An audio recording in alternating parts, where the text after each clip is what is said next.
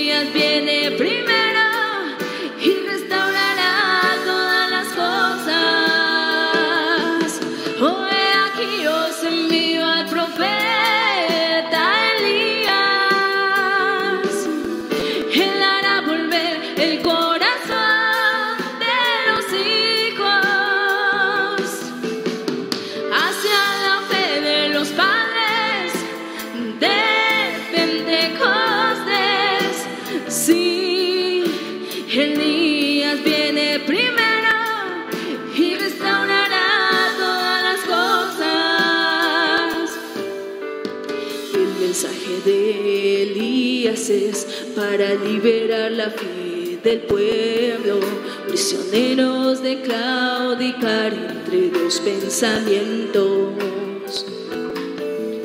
sacando de escena el nicolanismo y balamismo, y después de la gran sequía por causa de Acab y Jezabel traer de regreso lluvia temprana y lluvia tardía. Y mi pueblo nunca jamás será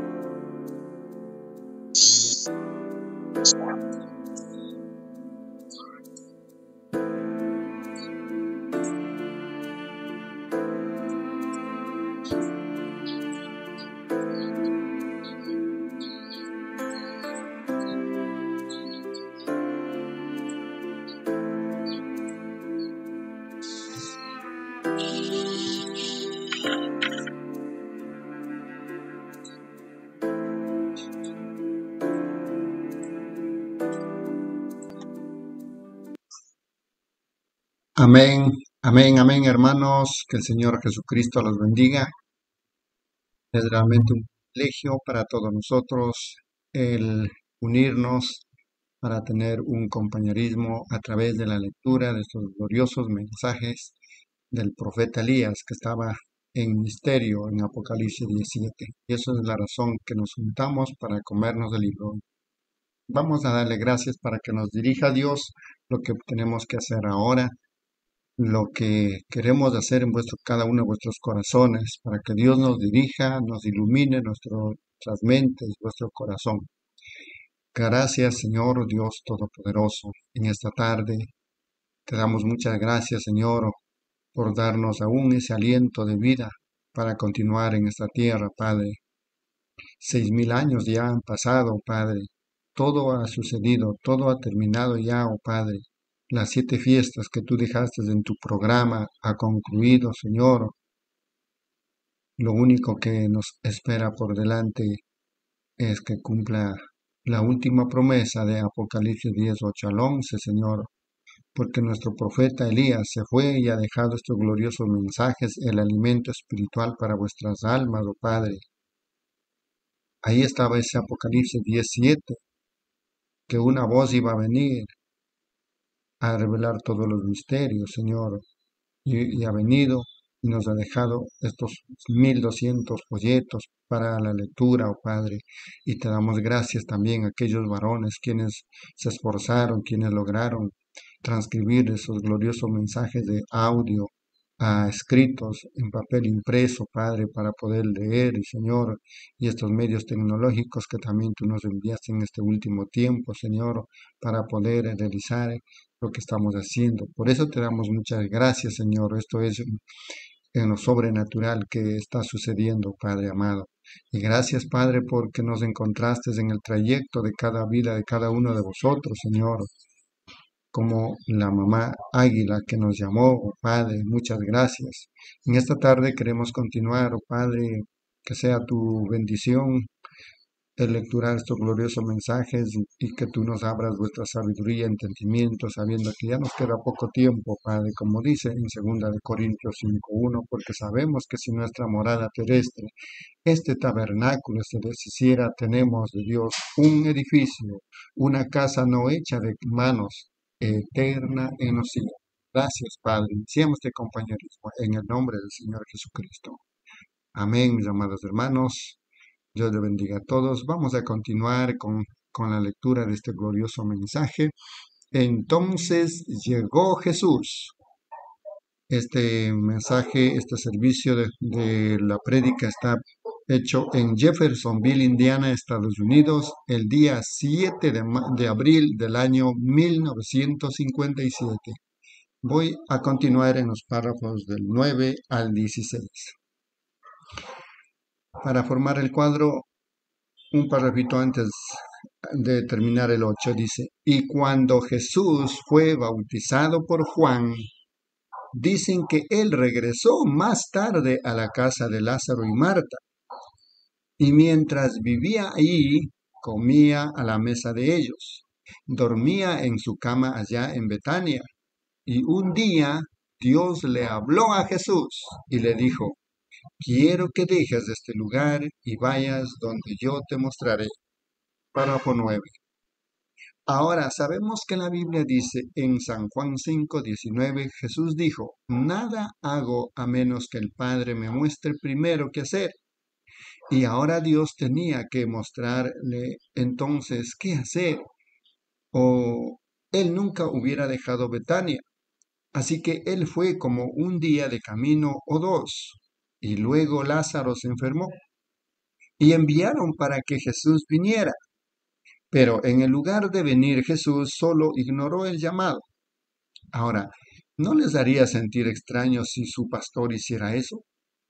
Eso les haría sentir como, bueno, Él no se interesa, interesa por nosotros. Pero, oh, si solo se detuvieran un momento para recordar esto, que todas las cosas obran a bien como aquellos que aman a Dios. Nada en el mundo puede salir mal mientras están en Dios. Los pasos del justo son ordenados por el Señor. Gloria a Dios. Y luego enviaron por Jesús otra vez, y él parecía ignorar su llamado y solo continuó. Después que pasaron cuatro días, él le dijo, Nuestro amigo Lázaro duerme, y me alegro por vosotros de no haber estado allí, porque si él hubiera estado allí, ellos hubieran estado tratando de lograr que él hiciera algo que no era la voluntad de Dios. Amén. Párrafo 10. Oh, ¿cómo es que me pudiera detener aquí por un momento? ¿Cómo tantas veces con buenas intenciones la gente trata de llamar a la gente fuera de la voluntad de Dios? Un hombre debe conocer su llamado absoluto Ustedes deben saber lo que está haciendo y no solo de una manera fortuita o permitir que el dinero les tire de un lugar a otro o que la popularidad lo haga. No importa qué tan popular, populares sean o qué tan ricos sean, ustedes siempre deben buscar a Dios primero para saber su plan y su voluntad. Ahora, cuando Lázaro estaba enfermo, parecía extraño que él no regresaba. Pero Jesús dijo, me alegro de no haber estado allí, porque lo hubieran estado persuadiendo, diciendo, ahora, ¿por qué no vienes aquí? ¿Por qué no haces esto? ¿Y por qué no te lo levantas? Levanta todo a otros. Párrafo 11. Pero Jesús sabía mejor. Jesús sabía cuál era la voluntad del Padre y, oh, Qué bendito privilegio es que podamos conocer la voluntad del Padre. Si buscamos a Dios, Dios hará notorio su voluntad. Preferiría saber que estoy en la voluntad de Dios si nunca le hablo la otra, a la otra persona que predicar a diez mil personas cada noche fuera de la voluntad de Dios. Preferiría conocer la voluntad de Dios. Creo que fue David que dijo, preferiría ser un portero en la, o, entre paréntesis, algo, en la casa de mi Señor que morar en las tiendas de maldad. Qué privilegio encontrar nuestro lugar y morar allí, sin importar cuánto el diablo estremezca lo que él dice y cuánto se mofe, quédense en orden con la voluntad de Dios. Párrafo 12. Noten entonces cuando Jesús dijo, ahora Él está muerto. Ellos pensaron que estaba durmiendo. Él dijo, Él está muerto, y me alegro por vosotros de no haber estado allí, mas voy para despertarle. Oh, vaya, no fue. Iré y veré si puedo, iré y haré el intento. Pero voy y les y le despertaré, porque él sabía, Dios le había mostrado por una visión que Lázaro iba a salir de esa tumba y no había conjetura. Oh, si Dios, cada vez que Dios mostraba una visión de lo que iba a pasar, iba a ser exactamente de esa manera. Si la visión es de Dios, tiene que ser. ¿Cómo me pudiera detener aquí en mi texto y solo citarlo durante horas de casos que conozco? He llegado ante casos donde pensaba, oh Dios, seguramente que lo harás, solo saliendo y solo tratando de probar mi fe contra eso. Pero muchas veces eso no funciona. Pero cuando Dios muestra una visión, oh hermano, simplemente tiene que pasar, no puede fallar. Y porque Él lo hace, ahora es la prueba infalible de que Él todavía es el mismo Mesías, que su oficio mesiánico es sellado por las señales y maravillas de la vindicación de su bendita palabra. Párrafo 13. Y luego pensar que Lázaro, cuando se enfermó, no hay alguien que sepa lo que es, es la enfermedad hasta que la han tenido en su propio hogar.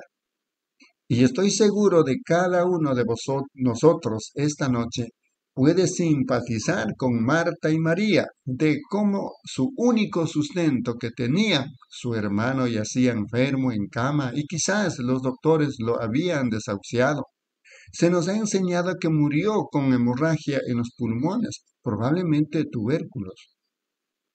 Y él murió con esa condición. Y cuando estaba tan enfermo y el doctor lo había desahuciado, y luego Jesús había fallado en venir a su amigo. Ahora, verdaderamente esa era una hora oscura. ¿Pueden imaginar a, esa, a esas dos hermosas jóvenes enviando por Jesús para que viniera y él rechazó hacerlo? Después que se habían salido de la iglesia y habían negado la antigua religión ortodoxa y se habían separado de los otros asociados del mundo, y entonces estaban poniendo toda su confianza en este hombre, Cristo, que ellos creían ser el Mesías, Cristo, y entonces él decepcionarlas. para 14. Oh, todos tenemos esas clases de experiencias. Recuerdo cuando primero fui convertido, cómo mi gente pensó que había perdido mi mente. Bueno, dijeron, si sigues esa clase de religión estarás en la institución para dementes en unos cuantos días. Ustedes han tenido las mismas cosas de gente burlándose de ustedes y sus asociados diciendo que ustedes se han ido al, al extremo. Pero mientras su fe esté en Cristo, todo saldrá bien. Nunca se preocupen sobre eso. Y puedo recordar cómo es que la gente me reunía con mis amigos y las jovencitas con los que iban entre paréntesis, los encontraba en la calle y decían, Billy, te has convertido en un santo rodador. No me importaba porque sabía que algo había sucedido, algo había tomado lugar y en mi corazón creía que era el real y genuino Espíritu Santo. Han pasado 24 años y está muy anclado allí esta noche. Tengo la misma determinación para servirle como la tenía la primera noche que se le prometí a él en aquel pequeño cobertizo de madera. Ciertamente algo tomó control. Han venido tiempos oscuros, trágicos, han venido desilusiones. La muerte ha venido, pero en la cara de todo eso, yo descanso en esa hermosa esperanza que Él dijo, yo soy la resurrección y la vida. El que en mí cree, aunque esté muerto, vivirá. Mi fe está basado en nada menos que la sangre de Jesús y la justicia. Todo a mi alrededor se desvanece. Entonces Él es toda mi esperanza. En Cristo, la roca sólida, nos paramos. Todo otro terreno es arena movediza. Ciertamente. Párrafo 15. O pudiera haber sido una hora oscura cuando su doctor les había fallado cuando su amigo les había fallado y Lázaro ahora estaba muriendo. Y llegó el cuarto día y tuvo una última hemorragia y se fue para estar con Dios.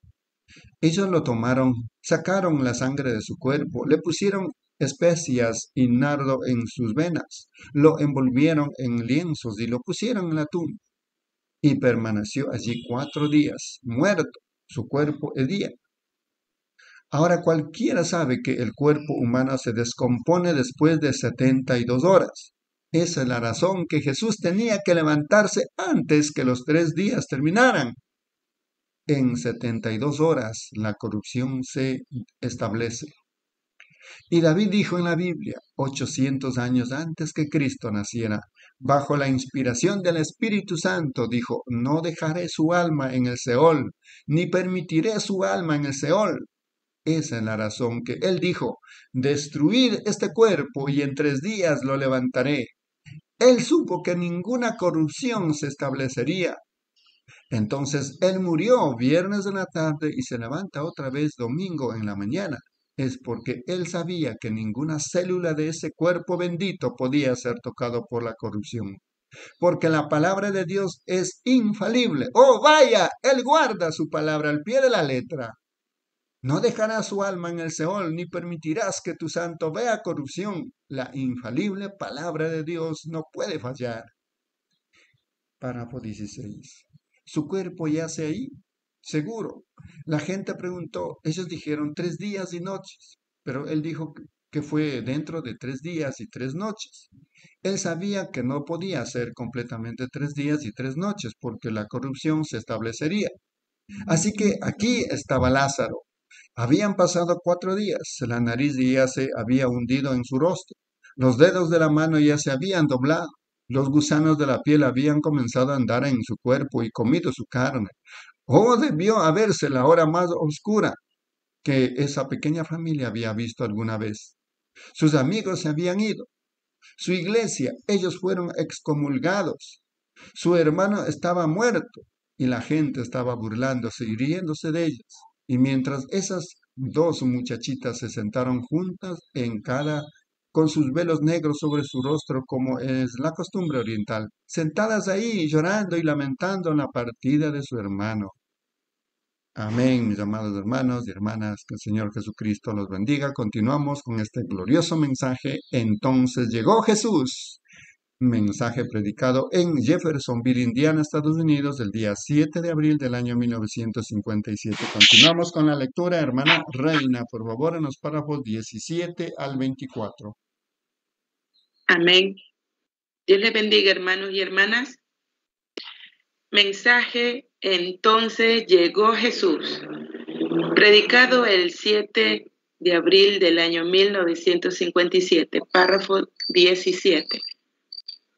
Ahí estaban ellas, nadie sino quien se ha sentado en ese tipo de hogares, nadie sino aquellos que se sentaron al lado de sus amados. Nosotros sabemos, muchos de ustedes saben, de cómo nos sentamos junto a nuestros amados. Hoy puedo verlos sentados junto a ese muchachito, hermano Robertson. Puedo verlo a usted y a la hermana Robertson, sentados al lado de la madre de ella. Oh, ¿Cómo la mayoría de ustedes puede verme a mí mismo sentado al lado de mi bebé fallecida de unos ocho meses de edad? Sabemos que son esas cosas. Oh, qué horas más oscuras. Pero era la hora más oscura que esa pequeña familia había visto alguna vez. Y cómo en ese tiempo Jesús vino a la escena esa es normalmente la manera que Él lo hace. Es en la hora más oscura y entonces Jesús viene a la escena. Amén. Párrafo 18. Fue en una mañana allá en Babilonia hace muchos años, cuando tres hijos hebreos que habían sido llevados cautivos allá lejos de su tierra natal, ellos estaban tristes porque estaban cautivos, estaban tristes porque no había lugar para adorar ellos, pero ellos todavía vivían fieles a Dios. Y ahí venía un montón de engañadores. Y ellos dieron un edicto que cualquiera que no se inclinara ante una imagen, lo cual era contrario a la religión de ellos, serían lanzados en el horno ardiente. Y el rey, con su gran alboroto, salió y dijo, quien quiera que no se incline a esta imagen, debe ser echado en este horno ardiente y ser quemado. Párrafo 19. Ahora, hubo un tiempo de prueba y siempre hay un tiempo de prueba. Todo hijo que viene a Dios debe primero ser examinado, probado. Oh, yo amo eso. Oh, yo no pido por eso. Pero después que pasa, produce los hermosos frutos de mansedumbre. El tiempo de prueba, cuando el fuego está caliente, como cada cristiano a través de las edades ha ido a través de ese tiempo de prueba. Y la Biblia dice que si no podemos soportar la prueba, llegamos a ser hijos ilegítimos y no los hijos de Dios. De modo que un hijo verdadero en el tiempo de la prueba, con esto, ellos no caminan por vista. Sus ojos físicos están cerrados a las cosas que están alrededor de ellos. Ellos solo caminan por la fe del Señor Jesucristo, mirando su palabra y creyendo que Él guardará cada palabra exactamente de la manera que Él dijo que lo haría. Los tiempos de pruebas, tribulaciones. Párrafo 20. Y vemos cuando este tiempo de prueba vino a estos tres hijos hebreos. Ellos probaron ser fieles. Dijeron, no nos inclinaremos a la imagen. Oh, vaya. Entonces el gran edicto que había sido firmado, ellos fueron y lo juntaron y pusieron sus manos atrás de ellos y los condujeron a un gran tablo, tablón, tablón o rampa para tirarlos dentro de un horno que tenía el techo literalmente rojo, siete veces más caliente que lo que alguna vez había sido calentado. Y mientras ellos caminaban hacia este tablón, sabiendo que en sus corazones ellos no veían como ese Dios alguna vez lo haría, pero sabían que Dios podía hacerlo. Era su privilegio caminar a su muerte, como fue para guardar la palabra de Dios. Párrafo 21. Y mientras caminaban, quizás era la hora más oscura que ellos habían visto. Ellos no tenían hogar al cual, al cual ir en esta tierra. Ellos eran cautivos. Ellos eran como esclavos. Habían sido traídos de su tierra natal no tenían permitido adorar en público. En ese país adoraban ídolos, de modo que ellos no podían ir a la idolatría. Tampoco podían tener sus privilegios patrióticos. Estaban cautivos. Pero una cosa, ustedes no pueden aprisionar a un creyente de, su Dios, no pueden. Y esa mañana, mientras subían, sabiendo que se pararon solos con Dios, y comenzaron a caminar mientras subían, quizás la hora más oscura a la que habían llegado, y el calor del horno comenzó a quemar en sus caras, y mientras daban su último adiós, dieron un paso a este bajo mundo dentro de ese horno ardiente. Entonces ahí llegó Jesús en ese tiempo y bajó en ese horno ardiente cortando una rama de los árboles siempre verdes del cielo. Y él ventiló el fuego lejos de ellos hasta después de quemar quizás por una hora o más. El rey se puso todo inquieto y dijo, abran y veamos qué pasó. 22. Y cuando derribaron la gran tapa del horno y el gran acero, o la tapa de bronce cayó, él miró dentro y dijo, ¿cuántos pusimos ahí dentro? Él dijo, pusimos tres. Él dijo, ahí dentro hay cuatro, y uno de ellos parece como el Hijo de Dios. Pudiera ponerse oscuro y a veces caliente, Pudieran venir tiempos de prueba, pero Jesús siempre está en la escena si solo somos verdaderos y fieles. Fue una mujercita quien una vez había gastado todo su dinero en doctores y había vendido la granja y la yunta. Tal vez y todo lo que tenía lo vendió y lo dio a los doctores para intentar curarse. Ninguno de ellos pudo hacerle algún bien y mientras se sentaba sola, su cuerpecito estaba frágil porque estaba perdiendo sangre por muchos años y nada parecía poder ayudarle. Y ahí ella había oído, ustedes saben, la fe viene por el oír, oír la palabra. Ella oyó que allá lejos, al otro lado de Galilea, había un profeta allá que estaba sanando al enfermo pero ella no tenía dinero para cruzar el lago. Ella no podía operar el bote sola. Ella estaba muy frágil y no podía tener el dinero para pagarle a alguien más porque había gastado todo lo que tenía en los doctores y todavía estaba tan mal como siempre estuvo. Párrafo 23. Y una mañana, mientras estaba afuera sentada, como lo imaginaríamos en el pórtico, con sus deditos temblorosos tratando de tejer un poquito o bordando, y miró. Allá abajo había un pequeño alboroto teniendo lugar a la orilla del mar, y una barquita embistió contra los mimbres, y casualmente ella mira, y después estaba ahí pensando, ahora todo mi dinero se ha ido, ¿qué haré? La próxima semana probablemente seré echada de la casa. La hipoteca la ha tomado. Ni siquiera tenemos comida ni nada más y no puedo aliviarme. Probablemente fue la hora más oscura que ella jamás había visto. Y ese momento la barquita arribó y Jesús llegó por ahí. Ella desciende al río con su cuerpecito tembloroso. Y recuerden, porque Jesús llegó. Todo diablo en el infierno tratará de mantenerlos lejos de él.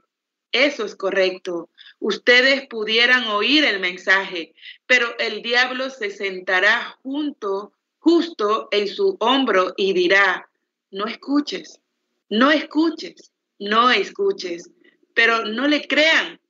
Él dijo, el que quiera, tome del agua de la vida gratuitamente no lo escuchen a él, pues él es un diablo. Párrafo 24. Y la mujercita fue donde Jesús estaba llegando y la gente reuniéndose a su alrededor, el pobre y demás. Y ahí se paró el sacerdote y todos los grandes líderes de su religión. Y ellos se estaban mofando de él y decían, oye, tú eres el que sana a los enfermos, ¿verdad? Bueno, tenemos un montón de enfermos. Veamos cómo los sanas. Bien, tú eres el que levanta a los muertos, ¿verdad? Tenemos un cementerio lleno por aquí. Veamos cómo los levantas. Él ni siquiera les prestó un poco de atención. Él solo continuó. Él tenía una cosa que hacer. Eso era la cosa que Dios le mostró que hiciera, ni más ni menos. Amén. Dios le bendiga, mis hermanos. Amén, amén, amén, reina. Dios le bendiga. Continuamos con la lectura de este glorioso mensaje. Entonces llegó Jesús, mensaje predicado en Jeffersonville, Indiana, Estados Unidos, el día 7 de abril del año 1957. Para continuar, hermana Narcisa, Dios le bendiga, en los párrafos 25 al 32.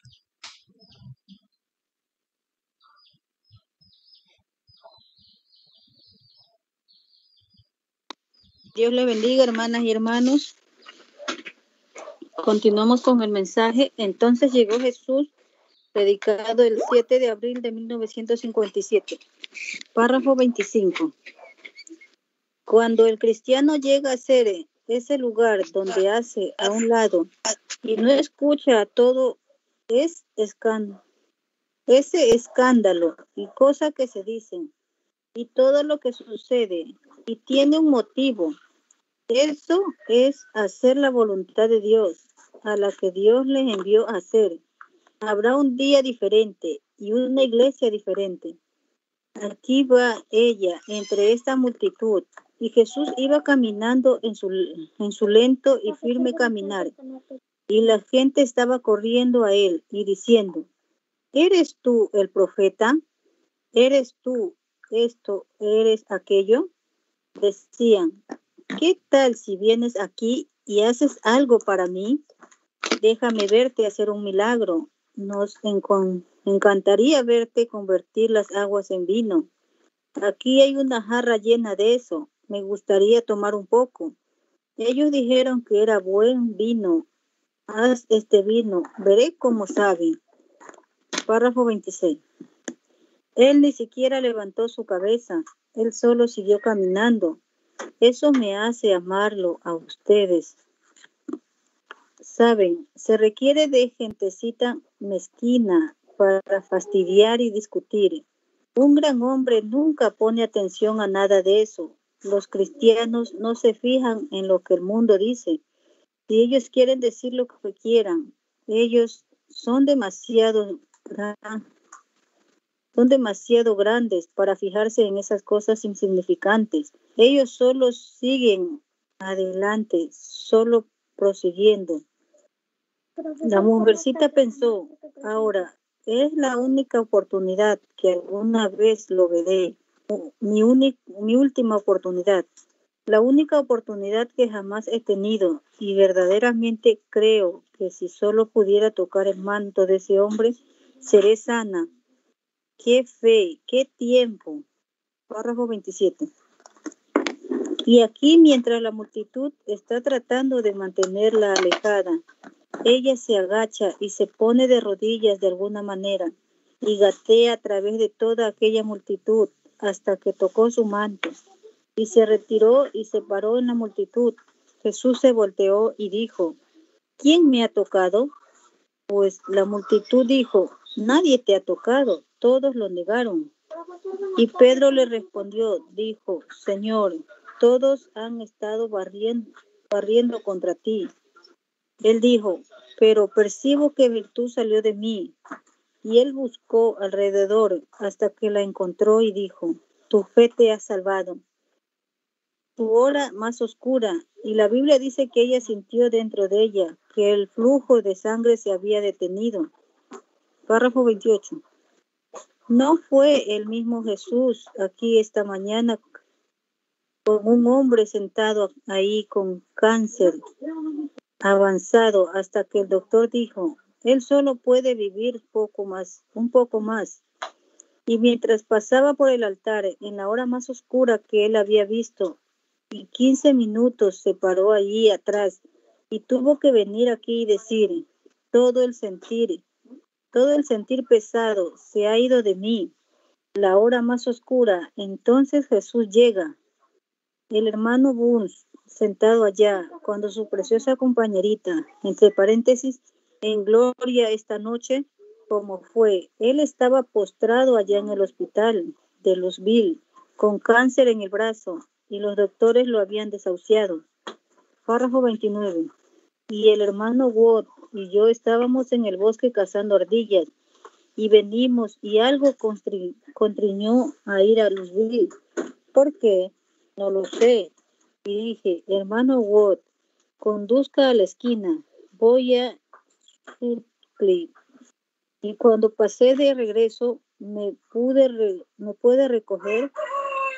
Yo esperé y esperé. No podía encontrarlo en ninguna parte. Y después de un rato lo noté mirando a la otra esquina y pasando por la calle, pensando que Sutcliffe estaba otra calle arriba. Si el hombre tan solo hubiera mirado, él habría visto que Sutcliffe no estaba allí y él hace y él hace negocios con su clip. Él sabe dónde está el lugar. Párrafo 30. Pero la hermanita Burs, entre paréntesis, que en, que en paz descanse esta noche, estaba en su casa, tomó esa pequeña foto con el ángel del Señor en la parte superior de la misma y se arrodilló ante ella y dijo, oh Dios, ayúdame a encontrar al hermano Branham por, por mi querido esposo. Y ella fue al centro a pagar el recibo de luz sin saber dónde estaban en este en este no, anoche mundo. Y ella llegó. Yo esperé por más de media hora y seguí viendo la camioneta pasar por la otra esquina. Yo dije, está perdido, debo subir allá.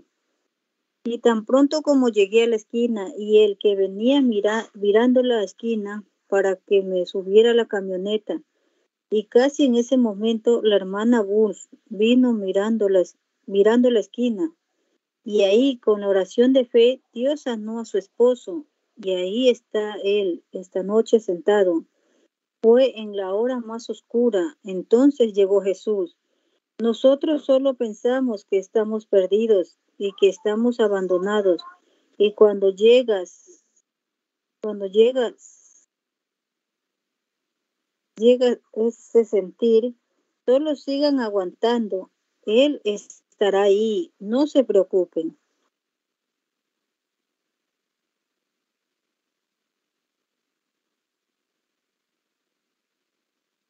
Párrafo 31. Era la hora más oscura que la pequeña Georgie Carter había visto alguna vez allá en Newton. Ella pertenecía a una iglesia que no creía en sanidad divina.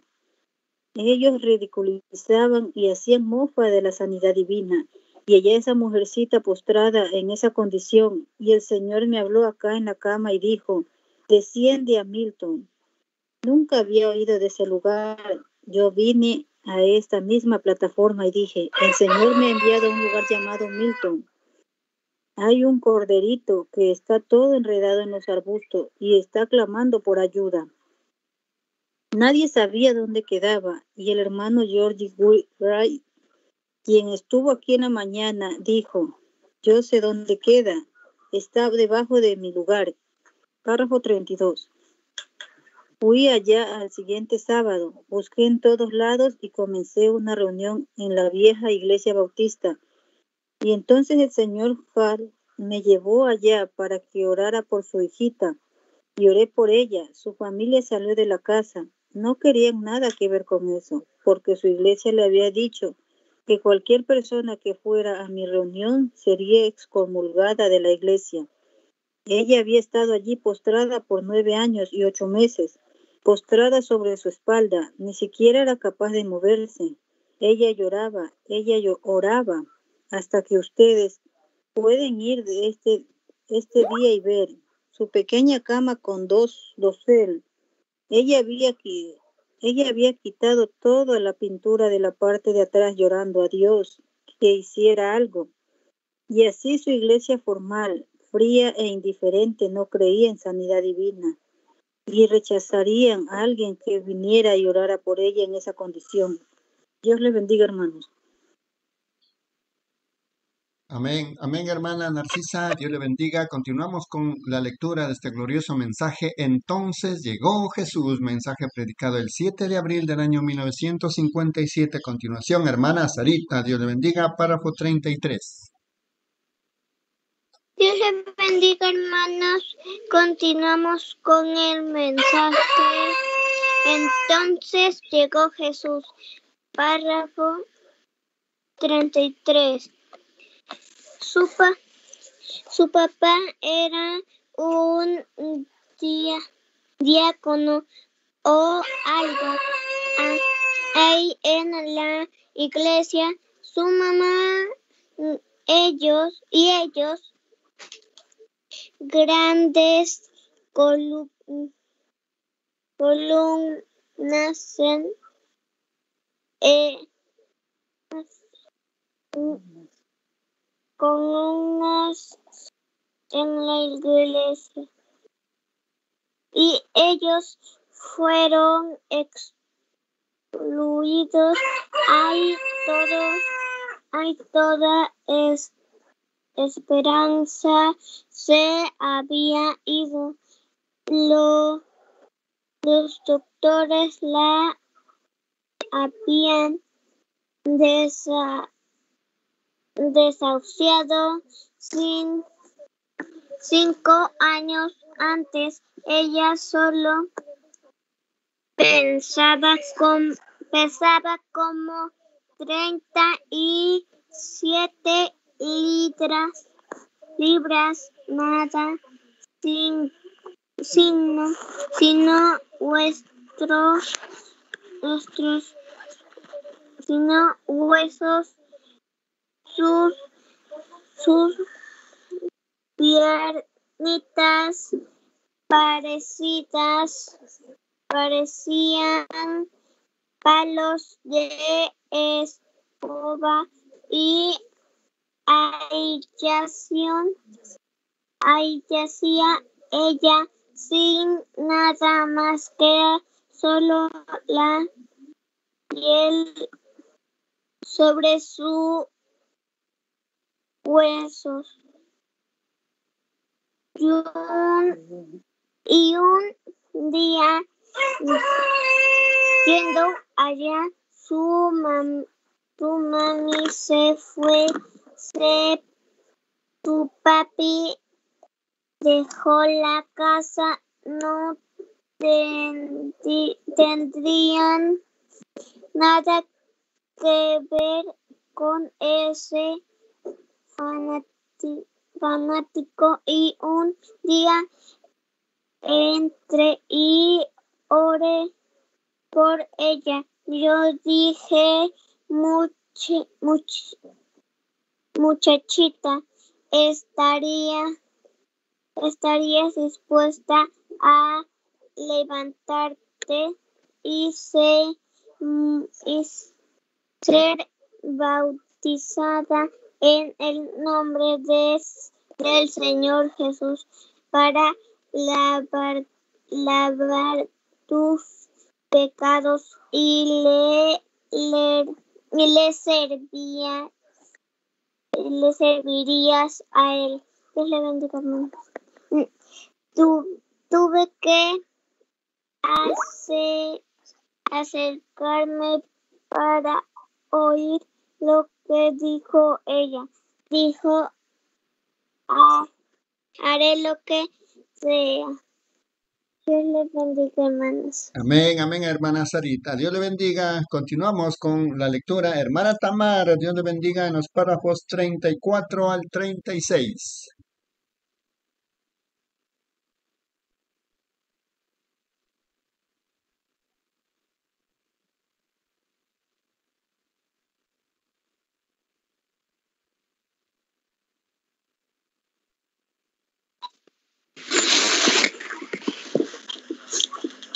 Dios le bendiga, hermanos y hermanas. Continuamos con el mensaje. Entonces llegó Jesús. El, en el párrafo 34.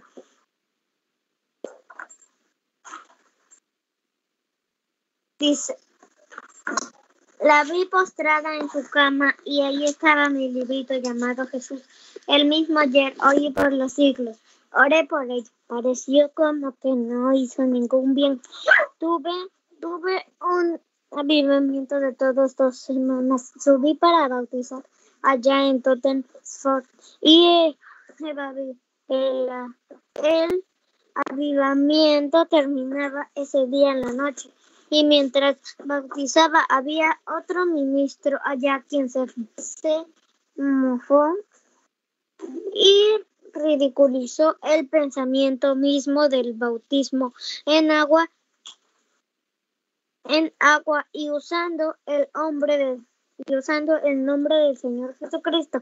Él dijo, si alguno, si alguien de mí, si alguien de mí, gente que está sentada bajo esa esta carpa estuvo cerca del hombre, salga de aquí ahora, no quiero nada que ver con ellos. El señor Guri casualmente estaba ahí sentado. Y él se levantó y salió. Y el siguiente domingo mismo, yo nunca abrí mi boca y dije algo sobre el nombre y fui allá a ayudar a ayudar para bautizar en Tottenford. Y mientras entraba en el agua, allí se paró la gente de su avivamiento en la ribera para burlarse de mi bautizo de bautizando en el nombre del Señor Jesús. Y yo cuando entré al agua, como en, como en ese tiempo llegó Jesús aquí, venía toda su congregación con su ropa buena, padeando en esa agua fangosa, gritando, Dios, Dios, sé su ropa buena, vadeando en ese, en esa agua fangosa, gritando, Dios, sé misericordia conmigo, y bautice a cada uno de ellos en el nombre del Señor Jesucristo. Ahí, ahí mismo, en ese ojo de agua, fui allá donde el hermano Jorge y el hermano Jorge dijo, hermano Branham, venga a cenar en unos minutos. Y, dije, y yo dije, debo orar. Fui al bosque y no podía orar ni aquí ni allá. Y de repente cuando casi se puso oscuro, miré y había una luz brillando a través de un pequeño árbol de cerezo. Y dijo, levántate de tu, ponte de pie y ve por el camino de los, de los cartes. La pequeña Georgie, postrada allí llorando y diciendo, oh mamá, voy a ser, eh, voy a ser olvidada. Él se va a ir con, hoy, no podré verlo más. Y esa noche era el servicio de clausura del gran avivamiento. Se le había, se, le había ido, todo, se le había ido todo. Se le iba, se le había ido toda esperanza, al parecer, y como en ese tiempo llegó Jesús y esa mujercita allá postrada de solo 30 y algo libres de peso, cuando entré ahí y la tomé de las manos, dije, hermana, el Señor Jesús me, me apareció hace un momento allá en la ladera del cerro. Ahí y me dijo que viniera aquí y pusiera mis manos sobre ti para que pueda ser sana. Esa pequeña Osama os esta es esa pequeña osa lamenta que no se había levantado de la cama por nueve años y ocho meses. Se puso sobre sus pies, corrió al piano y comenzó a tocar. Jesús mantenga cerca de la luz, de la cruz. Allí preciosa fuente gratis para todos. Una corriente sanadora fluye, fluye desde el monte Calvario. Era la hora más oscura de York había visto entonces Amén, amén, hermana Tamar. Dios le bendiga. Continuamos con la lectura de este glorioso mensaje. Entonces llegó Jesús, mensaje predicado en Jeffersonville, Indiana, Estados Unidos, el día 7 de abril del año 1957. Para continuar, hermano Israel, Dios le bendiga. Párrafos 37 al 39.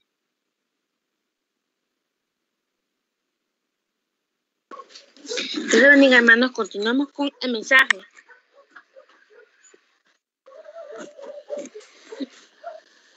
Entonces llegó Jesús, párrafo 37.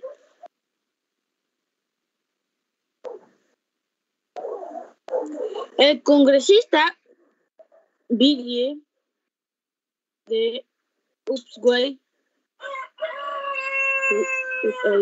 66 años, en una silla de ruedas, empujándole salón de congreso, de lugar a lugar. Se había orado por él cientos de veces. Él fue el vicepresidente Asociación Bautista del Sur, los bautistas sureños un gran hombre, un hombre maravilloso, un hombre que hubiera sido presidente de los Estados Unidos.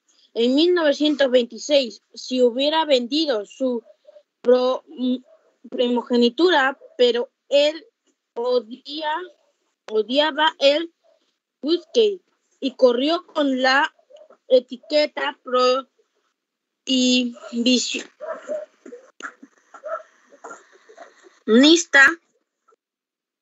cuando el Partido Demócrata, Demócrata lo escogió. Ellos decían que lo harían y lo hubieran hecho, pues lo hubieran hecho fácilmente. Él era muy amado, pero dijo, yo no, no cambiaré mi primogenitura por ser el presidente del mundo. Aleluya. Dios nos, Dios, damos hombres como ese aquí en nuestra Casa Blanca. Sí, Señor, como ya hacía entonces como un lisiado, su espalda quebrada desde que tenía 17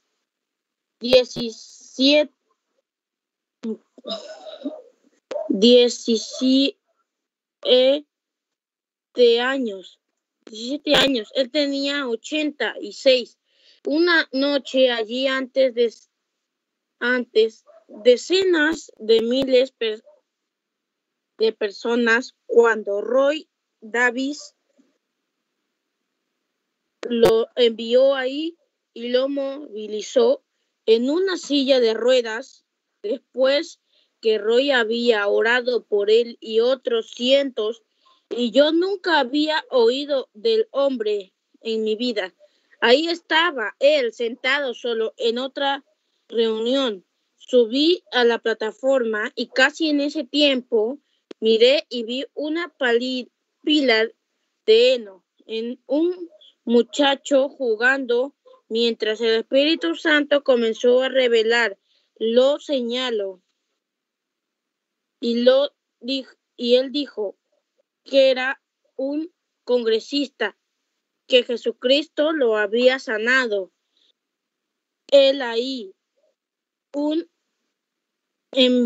inválido, 66 años, en una silla de ruedas de 86 años, la hora más oscura que él había visto, todo empezará, se había ido para su sanidad. Entonces llegó Jesús en, en, un hombre que había estado en una silla de ruedas por 66 años. Se levantó y corrió a la plataforma a sus 86 años de edad y tocó sus pies y saltó arriba, abajo y se paró en la reunión de Billy Graham y cantó, estoy apoyado en los brazos eternos, en los escalones de la Casa Blanca, la hora más oscura. Entonces llegó Jesús. Fue la hora más oscura que Abraham había visto cuando tenía 100 años. Entonces llegó Jesús una noche después de estar predicando un largo rato, él envió sus discípulos lejos y se subieron en una barca y se fueron sin él. Y parecía como cuando él lo hizo. Entonces él está en el mar, la barquita estaba y llegó la pequeña tormenta. Y el diablo dijo, los he alejado de él. Ahora tengo a estos santos rodadores de su lejos de su maestro. Veré cuando mensaje llevan por todo el mundo. Ahogaré cada uno de ellos aquí. Sigue, sí que, así que ahí vino una gran tormenta. El diablo comenzó a resultar y la tormenta vino y la barquita comenzó a rebotar de arriba a abajo. Así las velas se rompieron los remos se rompieron, la barca se llenó de agua y era la hora más oscura, sin duda ellos se estaban sosteniendo uno del otro, al otro de la cintura y lloraban, pensaron, oh, ¿dónde se ha ido él? ¿Qué le pasó? ¿Por qué no esperamos y lo trajimos con nosotros? ¿Por qué no lo subimos al bote? Dios le bendiga, hermanos. Amén, hermano Israel. Dios le bendiga. Recordando, estamos lecturando este glorioso mensaje. Entonces llegó Jesús, mensaje predicado en Jeffersonville, Indiana, Estados Unidos, el día 7 de abril del año 1957. Glorioso mensaje, glorioso tiempo que estamos viviendo. Continuamos, hermana Rosalia, Dios le bendiga, en los párrafos 40 al 47. Amén, hermanos. Continuando con el mensaje, entonces llegó Jesús, párrafo 40. Y muchas veces usted pudiera pensar la misma cosa. Mi amigo, usted pudiera haber salido sin él, pero recuerde, él todavía le está observando. Él sabe exactamente dónde está. Pudiera haber problemas en su hogar, pudiera haber problemas en su alma, pudiera haber problemas en su cuerpo, lo que sea. No se preocupe, Él tiene sus ojos sobre usted, Él está observando. Él subió a la cima de la montaña, él estaba mirando desde ahí y vio cada truco que el diablo estaba desarrollando. Aleluya. Él no solo subió, sino que subió a los baluartes del Calvario. No solo del Calvario, sino los baluartes de la gloria. Y se sienta esta noche en la majestad. Él mira hacia abajo sobre la tierra. Ni siquiera hay una onda que pueda venir sobre el agua sin que es por su permiso. El mar no puede moverse, una hoja no puede moverse, un pájaro no puede volar. 41.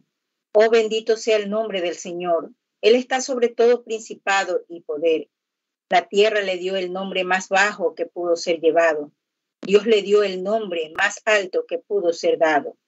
La tierra lo puso tan bajo como pudo ponerlo, en la tumba de un pecador, pero Dios lo levantó a lo más alto pues Él está tan alto que tiene que mirar para abajo para ver el cielo.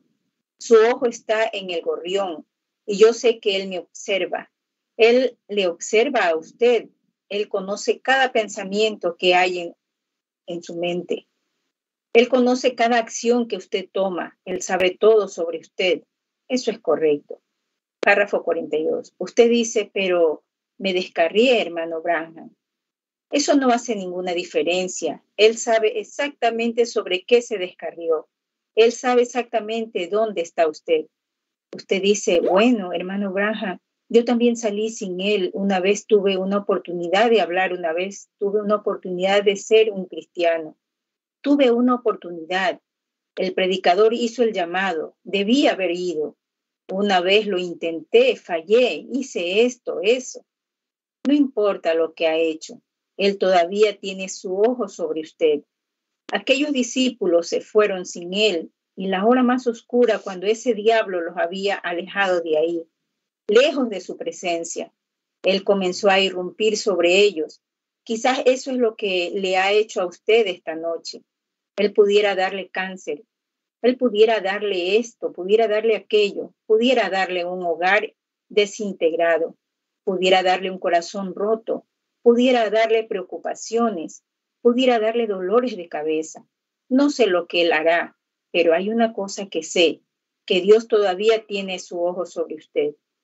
Párrafo 43. Esta pudiera ser su hora más oscura. No sé, Dios lo sabe. Pero justo en la hora más oscura, cuando ellos estaban listos para hundirse, entonces llegó Jesús caminando sobre las aguas, tan tranquilo. Las grandes daban de lleno frente a él. Mientras caminaba, Pedro dijo, Señor, si eres tú, manda que vaya a ti. Él dijo, ven, camina aquí. Pedid y se os dará. Buscad y hallaréis. Llamad y se os abrirá. Porque cualquiera que llama se abrirá. Y el que busca, allá ciertamente. Él aún está observando. Y lo extraño sobre eso, cuando aquellos discípulos estaban desamparados, y sin esperanza. Y cuando Jesús vino a ellos, fue lo único que los pudo ayudar. Y ellos estaban temerosos de él, tenían miedo de él. Párrafo 44.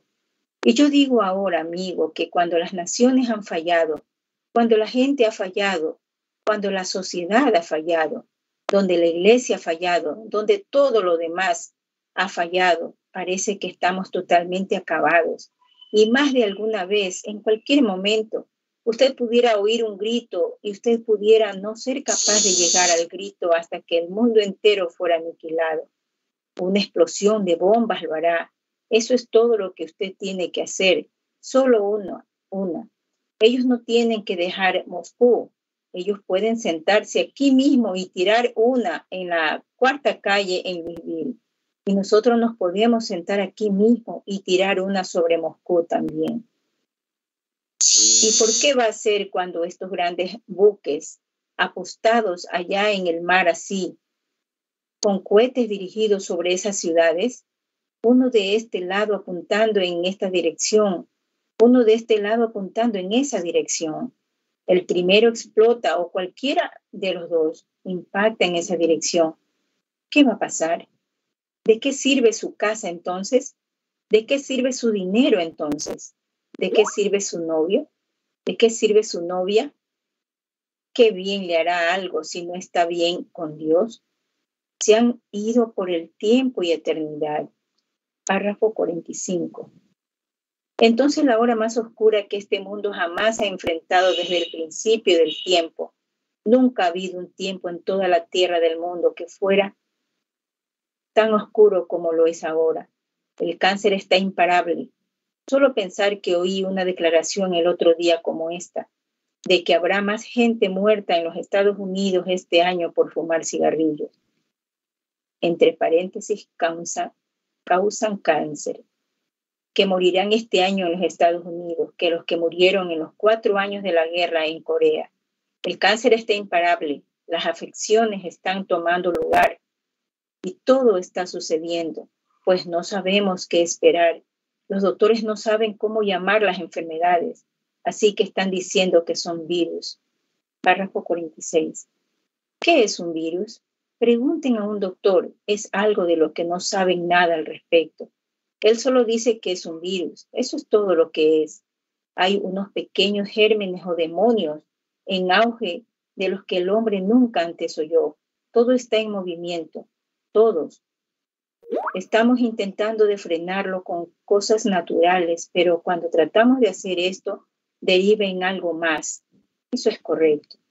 Le dan al hombre penicilina para esto y eso iniciará algo más. Le dan esto, está aquí, fuera de control. Dios tiene un camino. Nosotros también pudiéramos entrar en él. Las iglesias han fallado, los presbiterianos fallaron, los metodistas fallaron, los bautistas fallaron, la pentecostal falló, los peregrinos de santidad fallaron, la iglesia de Dios falló, todos hemos fallado, eso es correcto.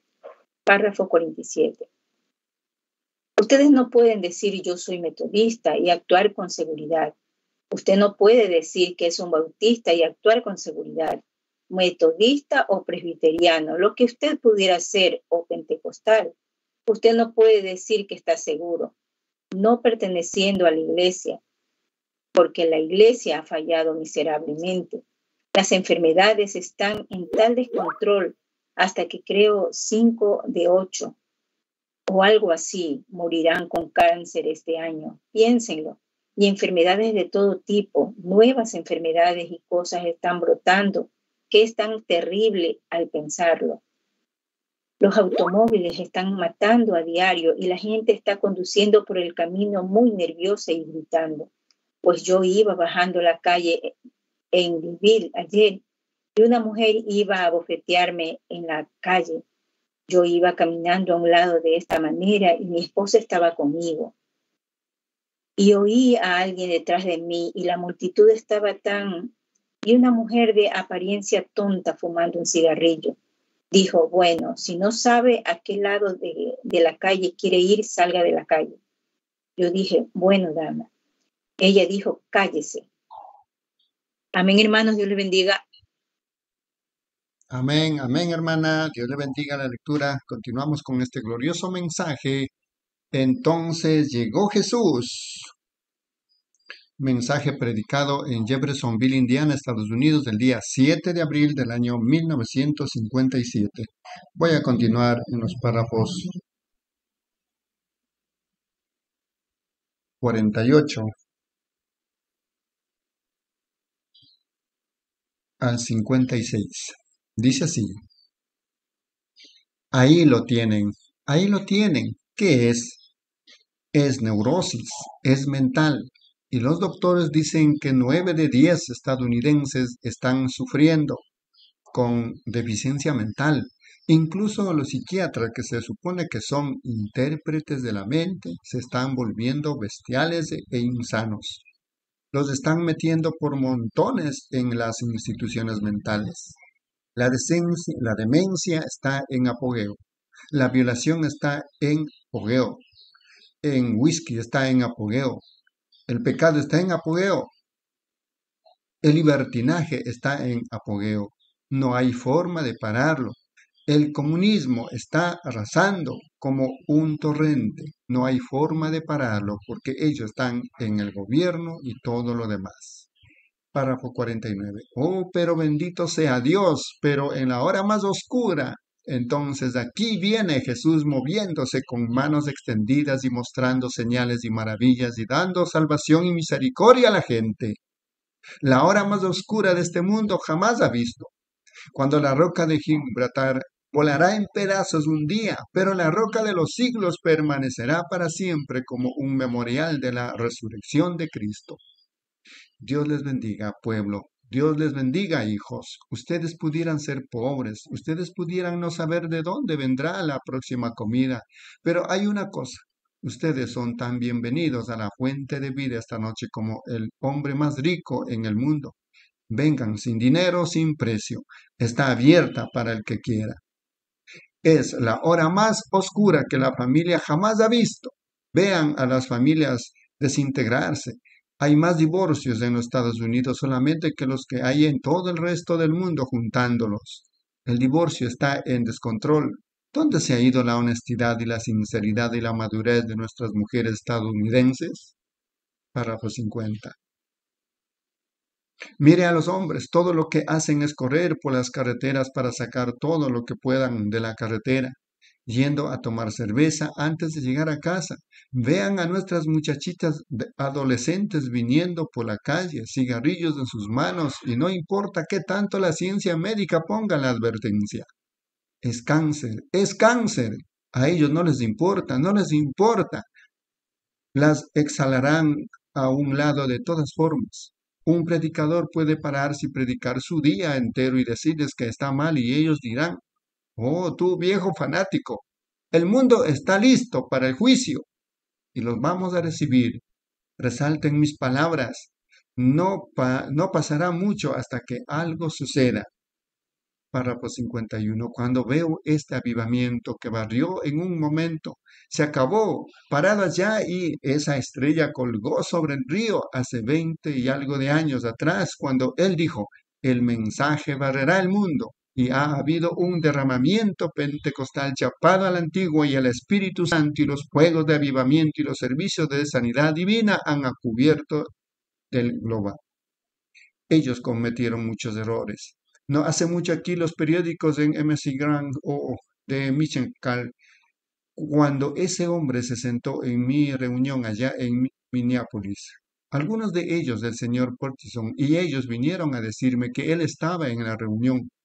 Yo dije, sin ninguna duda, pero ustedes nunca han escudriñado sus artículos muy bien. Ustedes dicen que ah, alguien escribió ese libro y alguien no tuvo nada que ver. Entonces, si cometieron esa clase de error, creo que el resto de eso está lleno de errores. Yo dije, ciertamente los hermanos pudieran merecer muchos critismos, criticismos. Ellos cometieron muchos errores. Eso es cierto. Pero, hermano, preferiría ser hallado en el campo de batalla cometiendo errores por ser un crítico del hombre que está tratando de salvar almas para Dios. ¿Qué están haciendo ustedes al respecto? Párrafo 52. Bendita sea el nombre del Señor Jesús. El poder del Señor Jesucristo es tan vasto esta noche. Es la única roca, es la única esperanza, es la única fe y Cristo lo ha presentado a ustedes. Ustedes pueden beber y vivir o rechazarlo y morir. Esta es la hora más oscura que el mundo jamás ha visto. Pero Jesús ha venido por aquí y aquí está Él ahora. Sus bendiciones están abiertas, su costado está traspasado, sus manos están extendidas y, y quien quiera puede venir y beber de la fuente de la vida libremente. Ustedes escojan. Su destino eterno estará sujeto a su actitud hacia Jesucristo. Esta pudiera ser su última oportunidad y al inclinar nuestras cabezas ahora solo para una palabra de oración, le pediré a la hermana que venga al piano mientras toda persona está en oración. Quiero que lo piensen. ¿Dónde pudieran ir esta noche? ¿Qué pasaría esta noche si les diera un ataque al corazón? Esta pudiera ser la última oportunidad que tienen. Piénsenlo. Ahora, sí, sí lo es. ¿No tomarán esta oportunidad? Ustedes dicen, bueno, estoy un poco joven, oh hermano, hermana, él no hace excepción de edad. Ustedes pueden cruzar la línea siendo jóvenes o cuando sean viejos, eso no importa. Nuestro Padre Celestial, ahora te entregamos este mensaje en el nombre de Jesucristo. Esta es la hora más oscura que el mundo jamás ha visto.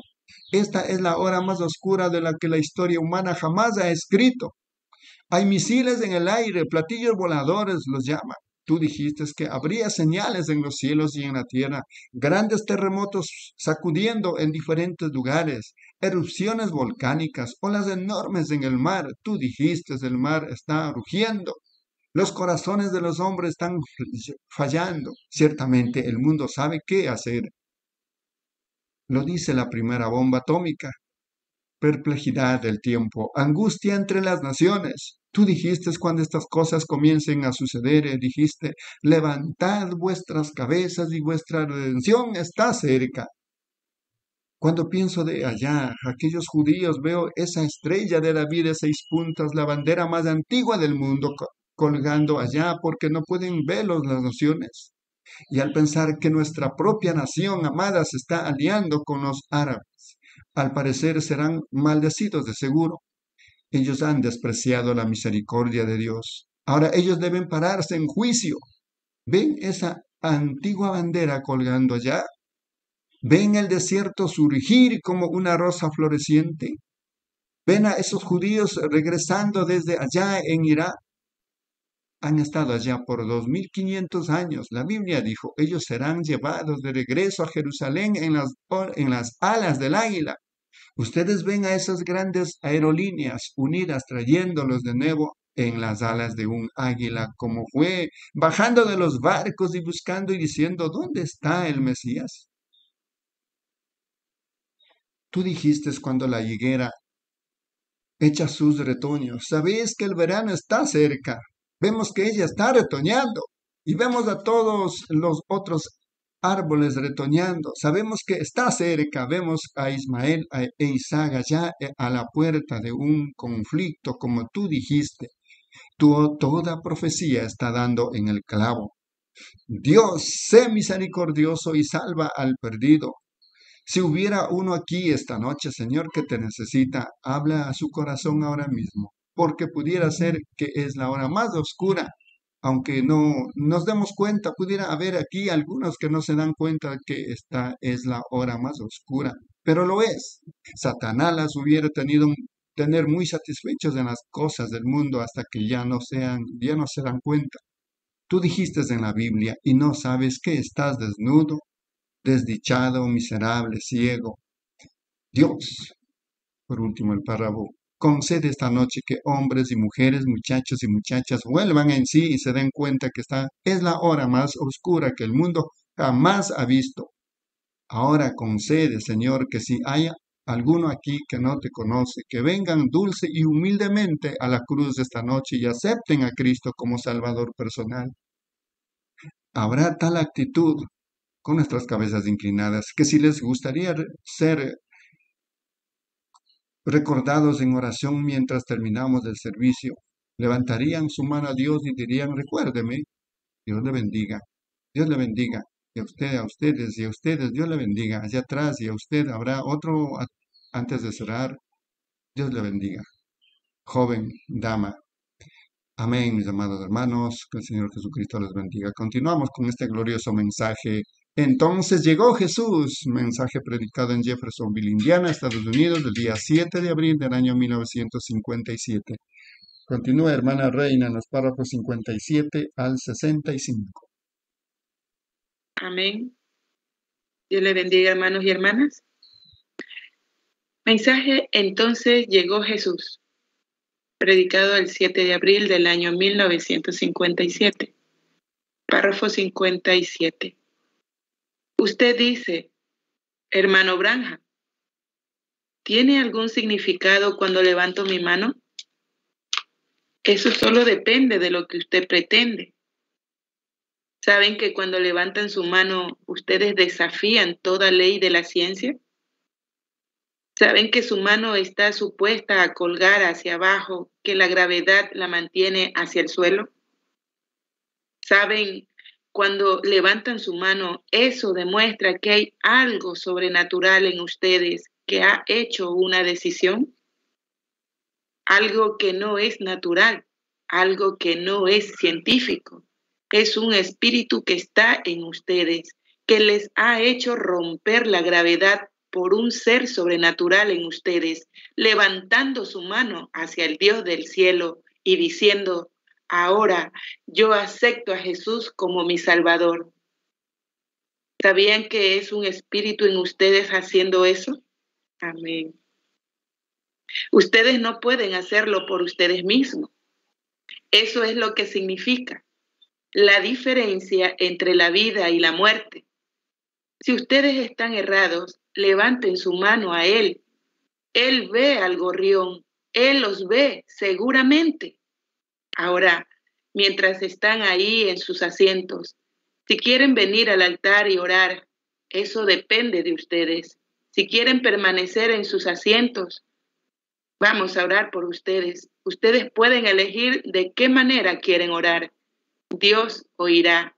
Hay como una docena de manos levantadas. Párrafo 58.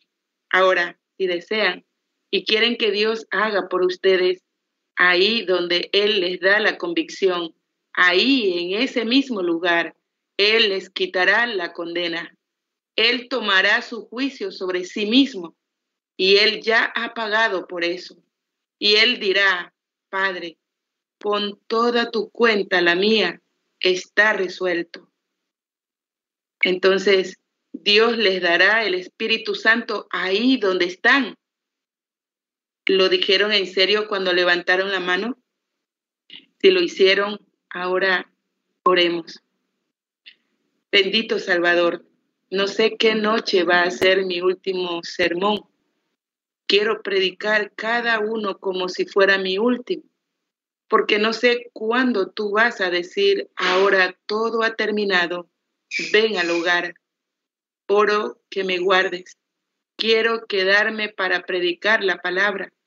Veo la necesidad del Evangelio y el efecto que tiene sobre la humanidad. Pero aquí, en nuestra bella nación de los Estados Unidos, hemos visto tanta facilidad riqueza, dinero, todo. O simplemente no podemos continuar de esta manera y la mayoría del mundo muriéndose de hambre.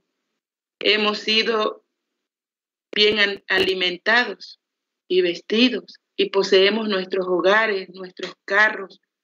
No tenemos necesidad de nada y no sabemos que somos miserables, desdichados, ciegos, espiritualmente hablando, desnudos sin la sangre del Señor Jesús. Aunque pudiéramos tener gran membresía de iglesia, pudiéramos tener una gran posición social en el vecindario, pudiéramos vestirnos mejor, comer mejor, pero, oh Dios, respecto de esa alma. Párrafo 59. Ahora, en la hora oscura, tú todavía estás aquí porque tú estás poniendo convicción en los corazones. Ha habido varias manos, una docena me supongo. Pudiera estar equivocado, Pudieran haber sido más o menos, no sé, Señor, pero tú conoces a cada uno de ellos y ahora solemnemente en la oración final los traigo dulce y humildemente a tus pies, como los atributos de mi sermón esta noche, como el fruto de los mensajes, los traigo a ti, Señor, mientras levantan sus manos para mí para recordarlos en oración. Y se están arrodillando ahora en su corazón a la cruz. Recíbelos, Padre, tómalos como tus hijos amados. 60. Y donde sea que vayan a la iglesia, donde quiera que pudiera ser, o que se conviertan en guerreros de la oración, que lleguen a ser ganadores de almas, trabajad, porque la noche viene. Concédelo, Padre, tómalos a tu cuidado y bendícelos y dales el gran deseo de su corazón, y que el Santo Espíritu llene su vida, porque lo pedimos en el nombre de Cristo. Amén. ¿Cuántos aman al Señor Jesús con todo su corazón? ¿O no es Él maravilloso? ¿Cuántos se sienten todos restregados? Como si el Señor hubiera solo descendido y tomado su gran cepillo fregador y fregado sobre ustedes. Oh, vaya, denos un tono de ese canto antiguo, creo, del ejército de salvación. ¿Qué me ¿Qué me puede dar perdón? Solo de Jesús. La sangre. ¿Y un nuevo corazón? Solo de Jesús. La sangre. Eso es correcto. Cantémoslo. Todos juntos ahora. ¿Qué me puede dar perdón? Solo de Jesús, la sangre. ¿Y un nuevo corazón? Solo de Jesús, la sangre. Precioso es el raudal que limpia todo mal. No hay otro manantial, solo de Jesús la sangre. 61.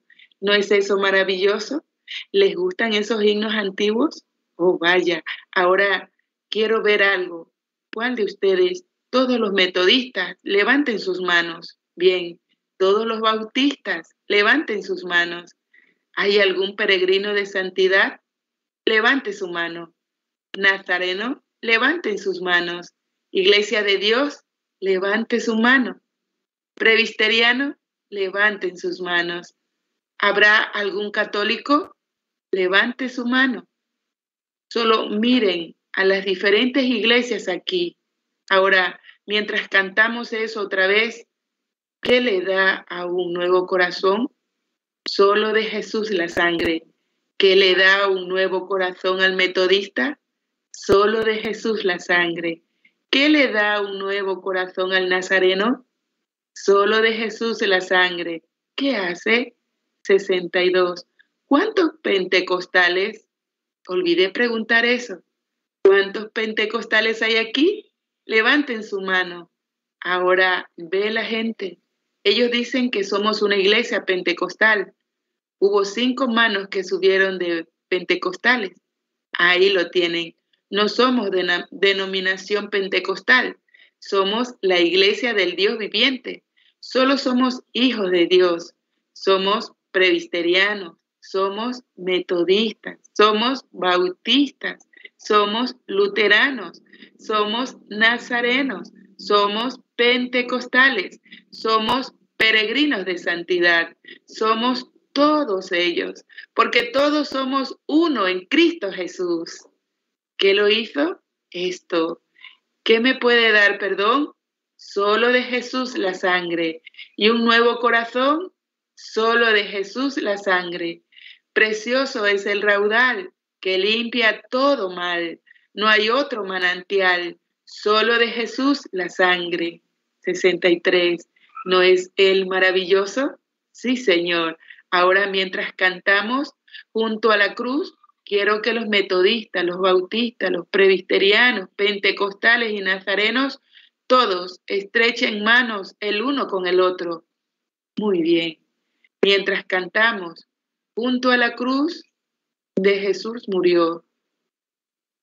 Estrechemos con alguien. Voltea a su alrededor, estrechemos, estreche manos con alguien. Junto a la cruz, do salud pedí. Ya mis maldades Él perdonó. A su nombre, gloria.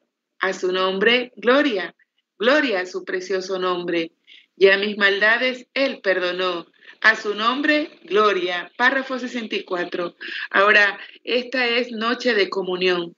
Como todos saben, tomamos comunión esta noche y lo olvidé hasta que el hermano Neville me lo acaba de recordar. Ahora, ¿cuántos se sienten muy bien de ser nazarenos, peregrinos de santidad, pentecostales, bautistas? Veamos sus manos. Me estaba fijando aquí un bautista y un metodista parados en la, en la plataforma. Estrechen manos el uno al otro. Muy bien, queremos, ¿no es maravilloso ser un siervo del Señor? Ahora, Solo somos hijos y los hijos tienen horribles maneras divertidas. Ustedes saben, están fastidiándose un momento y jugando el siguiente. Y esa es la manera que debemos ser. Solo desháganse del fastidiar de su hombre y salgan y tengan más diversión. Jueguen con muñecas y lo que sea que debe ser hecho. Párrafo 65. Ahora, tenemos un avivamiento venidero y vamos a cantar el Evangelio, predicar el Evangelio y solo tener un tiempo maravilloso. ¿Cuántos van a estar orando por eso? Oh, eso es bueno. Ahora vengan y ayúdennos. Vayan al teléfono. Usen cada pequeña manera que puedan. Inviten a todos los hijos a entrar. Díganles que vengan ahora y nos ayuden. Vamos a tener un poco de compañerismo en la palabra. Ahora es tiempo de comunión. Todos son bienvenidos a tomar la comunión con nosotros. Solo unos cuantos minutos. Ellos los traen aquí al altar y en 10 o 15 minutos se ha terminado. Entonces observamos el lavatorio de pies. Ahora el hermano Neville leerá esa escritura concerniente a la comunión. Mientras somos muy reverentes ahora mientras tomamos la cena. Amén. Dios le bendiga, hermanos y hermanas. Amén, amén, hermana reina. Dios le bendiga la lectura, mis amados hermanos y hermanas. Hemos concluido con este glorioso mensaje. Entonces llegó Jesús. Este servicio fue realizado en Jeffersonville, Indiana, Estados Unidos, el día 7 de abril del año 1957 tenemos el gran privilegio que nos ha dado Dios de continuar con la lectura de estos mensajes. Vamos a pasar de inmediato al siguiente mensaje para lecturar titulado Corintios, libro de corrección. Mensaje predicado en Jeffersonville, Indiana, Estados Unidos, día 14 de abril del año 1957. Para continuar y empezar con este nuevo mensaje. Hermana Narcisa, por favor, en los párrafos 1 al 8.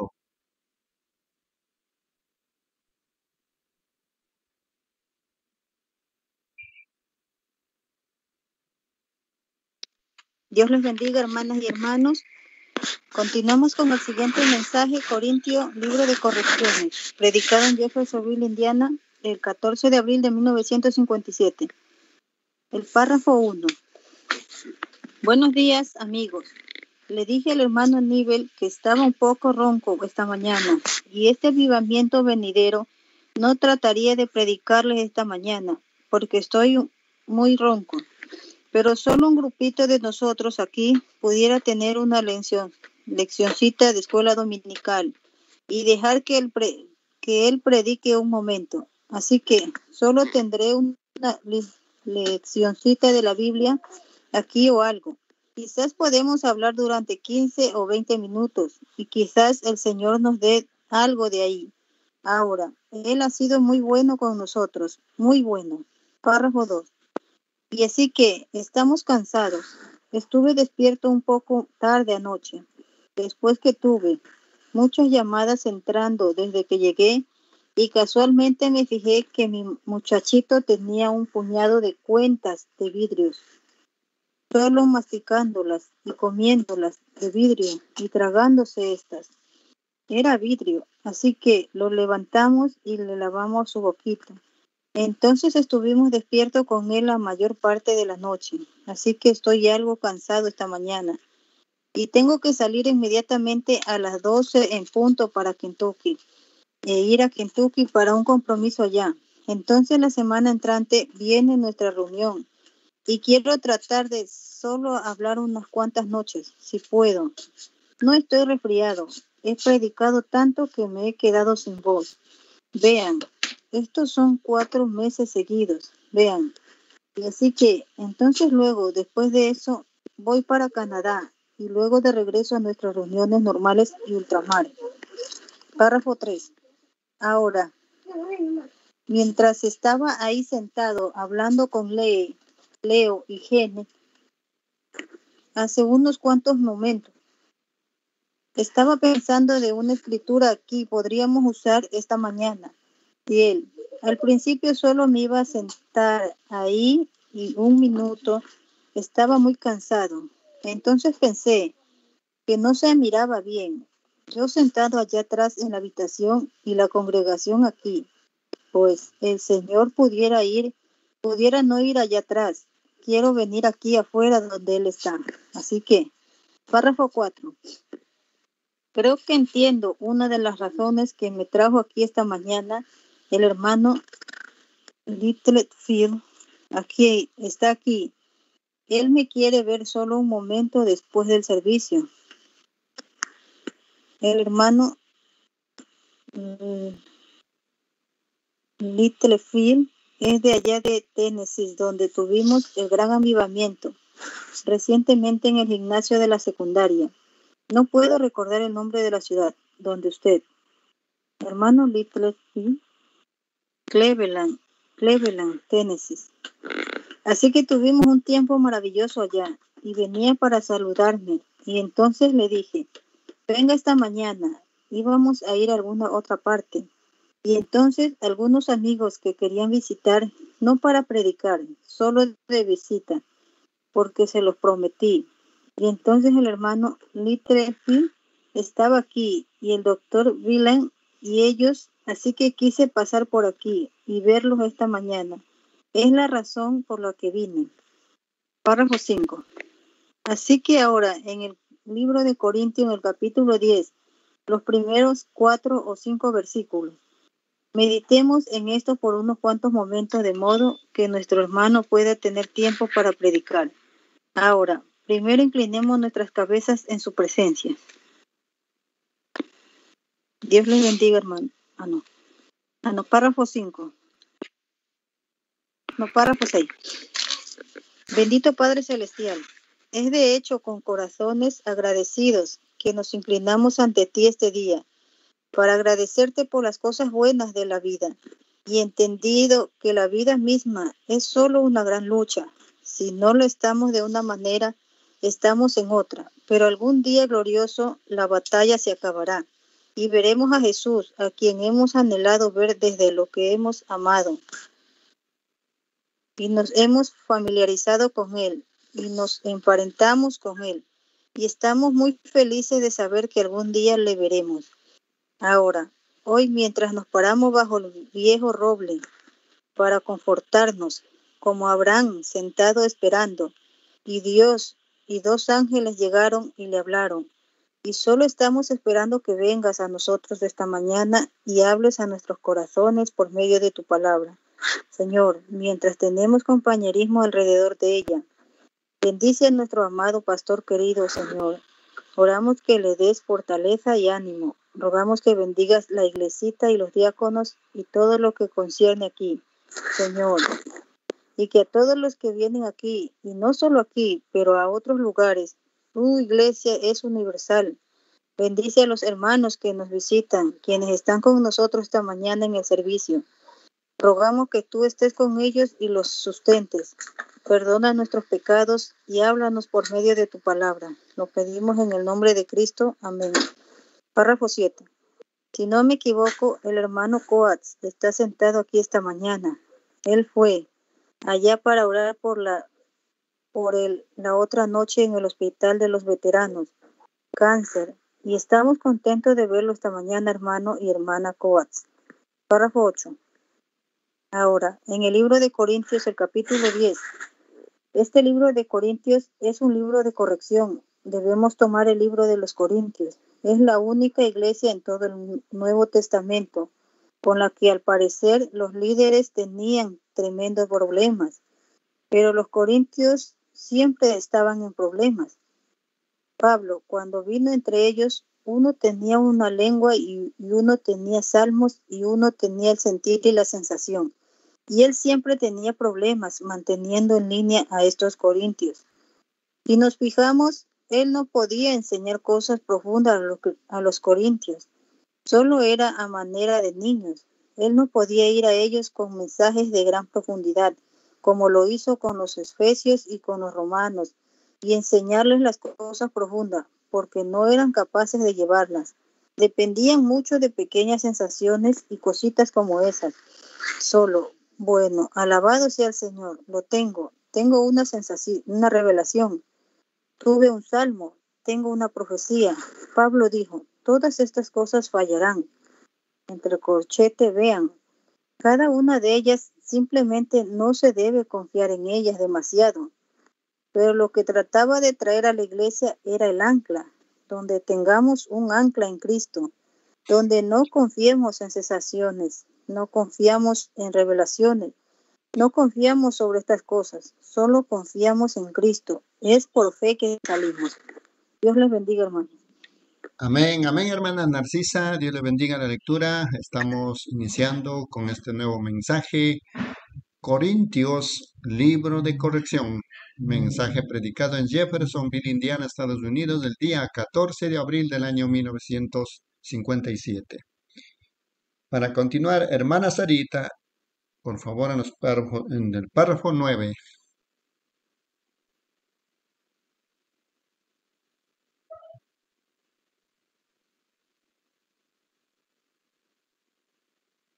Dios le bendiga, hermanos. Continuamos con el mensaje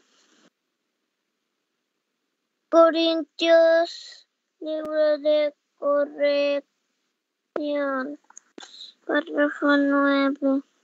Nos, nos fiamos, nos fijamos de Pablo podía enseñar a los efesios allá de cómo antes de la fundación de del mundo ellos fueron predestinados para la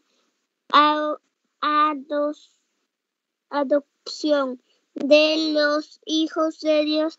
Ahora los corintios no, no sabían nada sobre eso. Ellos apenas tenían que tener una pequeña sensación o algo pequeño sensación uno eh, uno esto eso y lo otro y, de, y, y dependían de y dependían de de eso él no les, les podía enseñar las cosas profunda. Así, así que creo que él que es un gran cuando, tienen algo, cuando tienen cuando tienen al, a alguien que no le puede enseñar cosas profundas y él y el Espíritu Santo puede soplar estas grandes verdades y enclarar, las y anclarlas, anclara, anclar, anclar, anclarlas en los corazones del pueblo de, de, modo, de modo que ellos saben, sab- sa- saben dónde están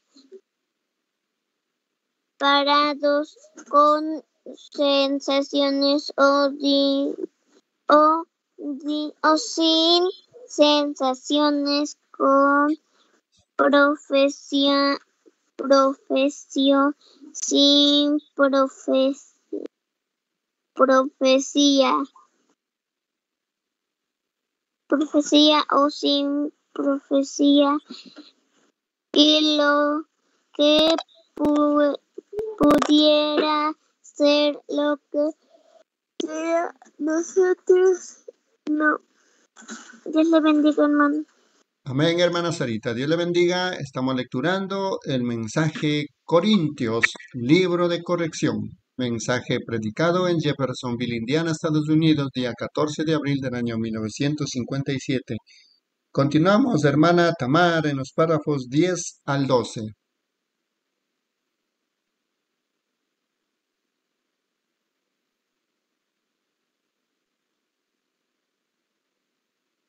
Dios le bendiga, hermanos y hermanas. Continuamos con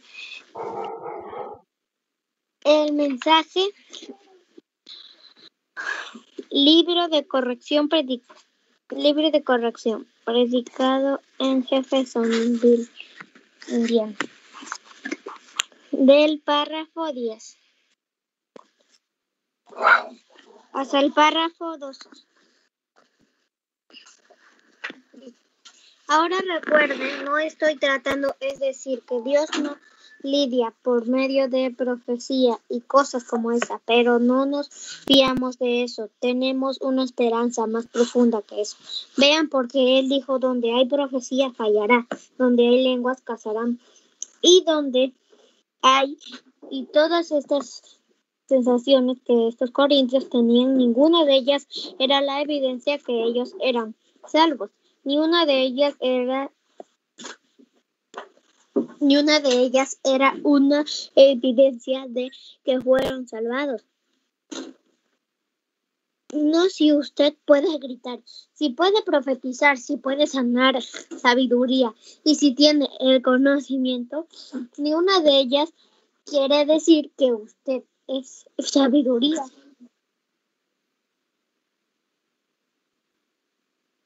Ya. A ver, si puede sanar al enfermo, si puede. Ya. Sí puede hablar en lengua, si puede interpretarla, si tiene sabiduría y si tiene conocimiento. Ninguna de ellas quiere decir que usted es salvo, ni una de ellas usted pudiera tener cada una de ellas. Pablo dijo en el, en el Corintios 13, y estar per- perdido, nada soy. Vean, por, pero cuanto usted tiene amor, un, un ancla. Esta mañana, como aproximadamente una hora antes de que mi esposa despertara, yo estaba despier- despierto y el Señor me estaba revelando algo grande sobre cómo Dios enlaza junta a su iglesia con cadenas de amor y con y cómo debe ser. No hay otra otra manera para que el hombre se salve jamás mm, sin nacer de nuevo. Dios mediante quiero predicar sobre eso esta semana entrante y se está consoli- consolidando en mi corazón. Quizás el Señor me dé un mensaje sobre eso. Ahora este mensaje esta mañana, mientras vivo ahí, a mi corazón es un mensaje de advertencia. Y pensé que tal vez si pasamos esta advertencia, la gente como Pablo estaba advirtiendo a estos corintios, si podemos a- pasar esta advertencia a la gente, sabiendo que estamos de cara a un avivamiento ahora y un tiempo de examinación, cuando debemos ser examinados. Ahora Pablo dijo, ¿por qué no quiero, hermanos, que ignores, que ignoréis que nuestros padres todos estuvieron bajo la nube y todos pasaron el mar y fueron. En Moisés fueron bautizados en la nube y el mar. Ahora Él les está dando un entendimiento que cuando Dios sacó a Israel del desierto, al desierto para servirle y llevarlos a la tierra prometida, Él está presentando un ejemplo que así como somos sacados de todas las cosas materiales, todos los rituales y las órdenes igual ellos. Dios le bendiga, hermanas y hermanos. Amén, amén, hermana. Dios le bendiga la lectura. Continuamos con el glorioso mensaje Corintios, libro de corrección, mensaje predicado el día 14 de abril del año 1957. Continúa, hermano Israel, en los párrafos 13 al 15.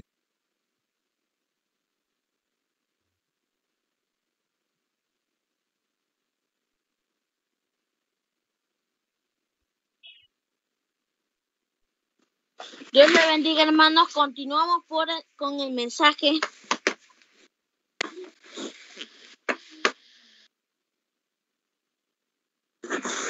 Corintios, libro de corrección, del párrafo 13. Y encontramos más adelante en nuestra lección que muchos de aquellos fueron desechados porque podían hacer todos los ritos y todas las ordenanzas y todo lo que Dios quería y todavía sus corazones no estaban bien con Dios. Ahora podemos hacer muchas cosas, podemos tomar la comunicación, podemos ser bautizados, podemos venir a la iglesia, tener nuestros nombres en el libro y ser tan respetuosos y reverentes como podemos serlo y todavía estar perdidos. Esa es una advertencia, solamente podemos ser tan solo regocijarnos cuando el Espíritu cae en una reunión donde la palabra está siendo predicada y aún estar perdidos, la lluvia cae sobre el justo o, y el injusto. La misma lluvia que hace crecer el trigo hace crecer la cizaña.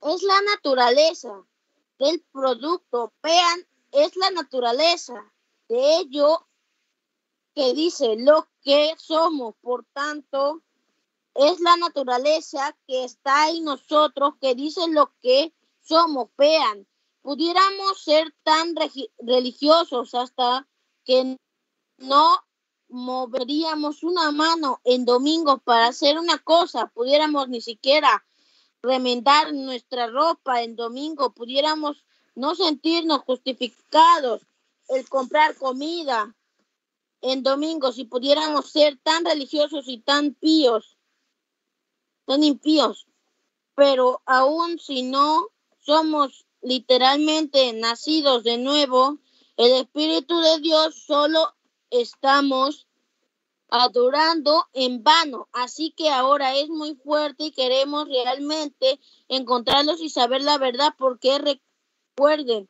no vamos a tener una segunda oportunidad. En esto solo esta única oportunidad. Así que usted mejor está bien seguro.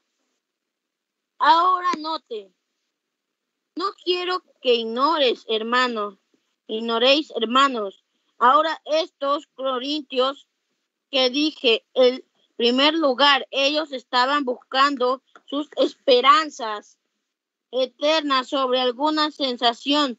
Pablo dijo allí, dijo, cuando llegó entre ustedes, uno tiene esto y uno tiene eso y uno ahora dijo, todos es, todo eso está bien, no tenemos nada en contra eso, pero todavía eso no es de lo que estamos hablando. Vean, eso no es. Recuerden, cuando primero fui convertido y comencé a ver la obra del Espíritu como algún, simplemente podría, podían personificar el verdadero genio, genuino Espíritu Santo de tal manera que eso, pues era casi imposible decir cuál era correcto o apenas incorrecto y vi a un hombre que yo sabía y por discernimiento supe que ese hombre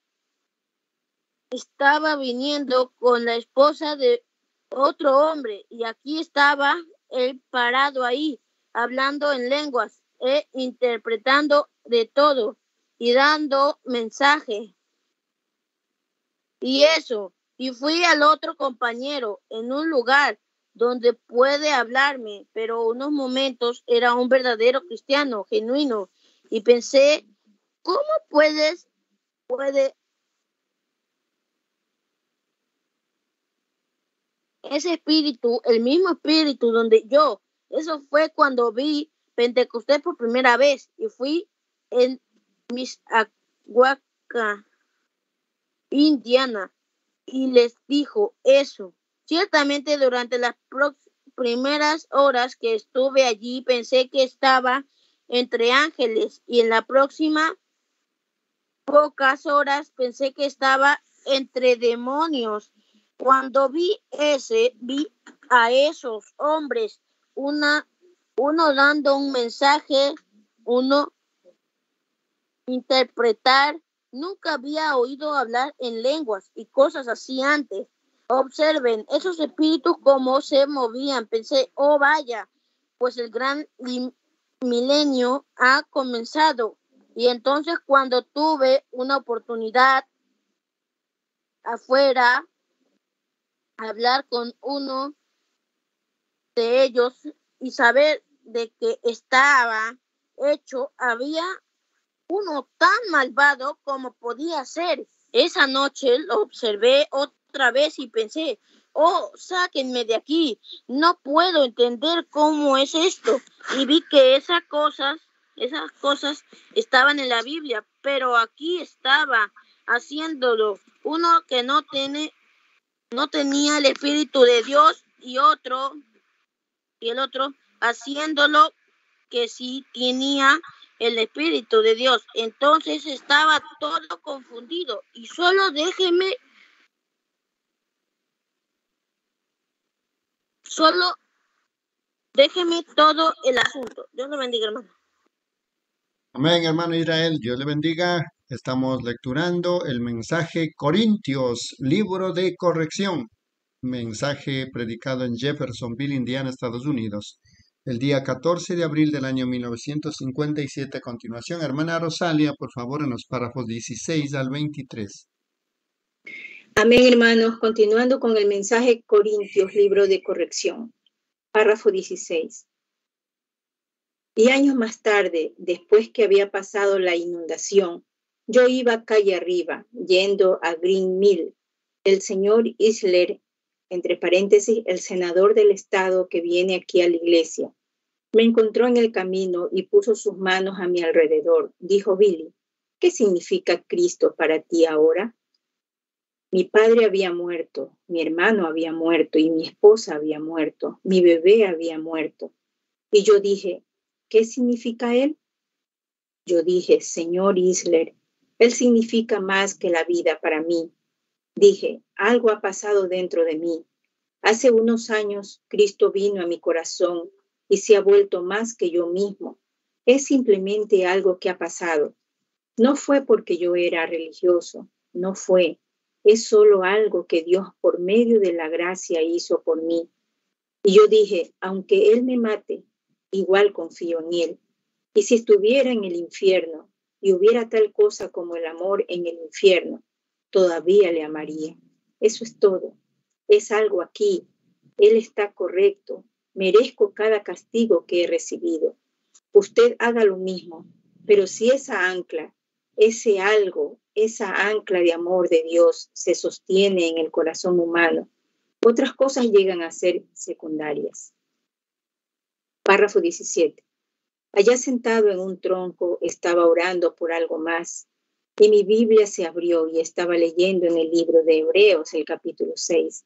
Y estaba leyendo allí de cómo es imposible que los que una vez fueron iluminados y fueron hechos partícipes del Espíritu Santo y recayeron, sean otra vez renovados para arrepentimiento.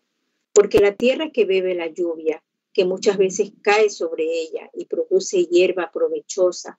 Aquellos por los cuales es labrada recibe bendición de Dios, pero la que produce espinos y abrojos es reprobada. Está próxima a ser maldecida y su fin es el ser quemada. El Espíritu Santo siguió hablándome sobre eso. ¿Qué es eso? Lo había leído de nuevo y entonces vino una visión. Y vi el mundo ante mí girando. Estaba todo arado y como surcado y listo para cultivar. Y ahí venía un hombre de blanco sembrando semillas y después se fue alrededor de la curvatura de la tierra. Otro hombre vino de negro sembrando semillas detrás de él. Y cuando las semillas que el hombre bueno sembró nacieron, era trigo, y el malo, el hombre negro, sembró semillas que nacieron, y vestido de negro nació, y era cizaña, y oh, uno era contrario al otro. Vino una gran sequía en la visión, y el pequeño trigo inclinó su cabeza. Estaban tan sedientos por un sorbo, y la cizaña inclinó su cabeza estaba sedienta por un sorbo. Entonces vino una gran nube y la lluvia cayó y el pequeño trigo levantó su cabeza y comenzó a gritar, Alabado sea el Señor, alabado sea el Señor. Estaba muy feliz de recibir el agua. Y la pequeña cizaña se levantó y comenzó a clamar, Alabado sea el Señor, alabado sea el Señor, por la misma agua. Entonces entendí, vean, Ahí lo tienen. El Espíritu Santo cae, pero por sus frutos los conoceréis. Dijo el Señor Jesús, vean, vean. No por la reacción del Espíritu, ya sea que sanen al enfermo, o sea que hablen en lengua, o si cantan en el Espíritu, o si se regocijan de esta manera o de esa. Ellos pueden hacer todo eso y todavía estar perdidos es su vida dentro de ustedes, una experiencia de nuevo nacimiento. Párrafo 18. Ahora, Pablo estaba tratando de darle esto a aquellos corintios, porque no quiero, hermanos, que ignoréis que nuestros padres todos estuvieron bajo la nube y todos pasaron el mar y todos en Moisés fueron bautizados. Cada uno de ellos entró al desierto. Jesús dijo, no todo el que me dice Señor, Señor entrará, sino el que hace la voluntad de mi Padre que está en los cielos.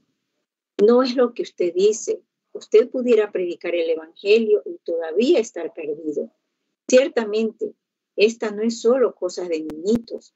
Esto es absolutamente, es profundo. Y el cristianismo no debe ser solo como una cosita fabulosa, como bueno, iré a la iglesia y sé que es mi deber ir, eso no es cristianismo. Hermano, cristianismo no es. Es algo que Dios ha hecho. Dios los ha escogido en Cristo y los ha presentado como un regalo de amor a Cristo. Y es la elección del llamamiento de Dios. Y si tenemos la oportunidad para llegar a ser esa clase de persona y rechazarlo por unas viejas cositas del mundo, párrafo 19. Ahora escuchen mientras continuamos y todos comieron el mismo maná espiritual. ¿Oyeron eso? El versículo 3. Y todos comieron el mismo maná espiritual. ¿De qué está él hablando? ¿De los rituales de la iglesia? La gente viene a la iglesia y dicen que se han arrepentido y son bautizados en Cristo, tomando sobre ellos el nombre del Señor Jesús. Y ellos hicieron eso en el desierto también, dijo Pablo. Eso es lo que los corintios habían hecho. Ellos entraron y fueron bautizados en Cristo, tomaron a Cristo exteriormente, profesionalmente. Lo habían tomado intelectualmente, lo habían aceptado. Pero hermano, es mucho más que intelectuales. Va más allá de eso, lleva un genuino nacimiento, no solo un concepto mental o una obra emocional, sino que un nacimiento, una experiencia, algo que penetra profundamente en el corazón y cambia el ser más íntimo. Eso le hace hacer cosas que no hubiera hecho de otra manera. Eso le hace amar a esos que no son agradables. Eso le hace actuar diferente de lo que alguna vez pensó que actuaría. Y cuando se levantan las situaciones, es su ancla. Usted no tiene que preguntarse, ¿lo lograré? Oh, no, no es si lo lograré. Ya está hecho para mí. Cristo mismo lo ha hecho en mí y solo confío en su ancla, nada más. Qué cosa tan maravillosa. Párrafo 20. Noten. Todos tomaron la comunión, esa vida que estaba en. Sabemos que fue un proceso natural porque era una como una pequeña escarcha que caía del cielo, pequeñas obleas con miel en ellas. La oblea era como un pequeño bizcochito, una galleta, y tenía miel sobre ella.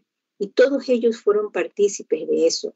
Todos pasaron a través del mar rojo y en Moisés fueron bautizados a través de la nube y a través del mar, siguiendo sus instrucciones como siervo de Dios. Todos ellos fueron bautizados en él.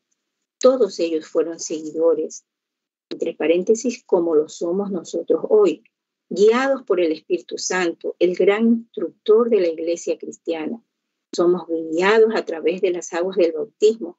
Y él dijo, todos ellos tomaron del mismo maná. ¿Qué hizo? Ese maná, maná cayó para Coré y para su grupo, igual como lo hizo para Moisés, Caleb y Josué. Todos ellos estaban mezclados, todos partícipes del bautismo, todos partícipes de membresía, todos partícipes de la confesión y ahora todos partícipes de la comunión. ¿Lo entienden? Miren a esa advertencia solemne y amigos del tabernáculo, metan eso muy profundo. Recuerden, es su destino eterno. Pende allí mismo. No solo lo pasen como pasar el pequeño torrente o algo. Esto es algo a lo que tenemos que venir respetuosamente es algo que significa si vivimos en lo porvenir o no. Párrafo 21. Todos fueron bautizados en Moisés a través del Mar Rojo.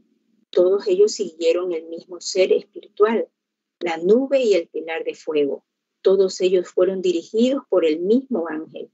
Todos salieron por el mismo pastor. Todos fueron bautizados en el mar. Todos comieron de ese maná espiritual.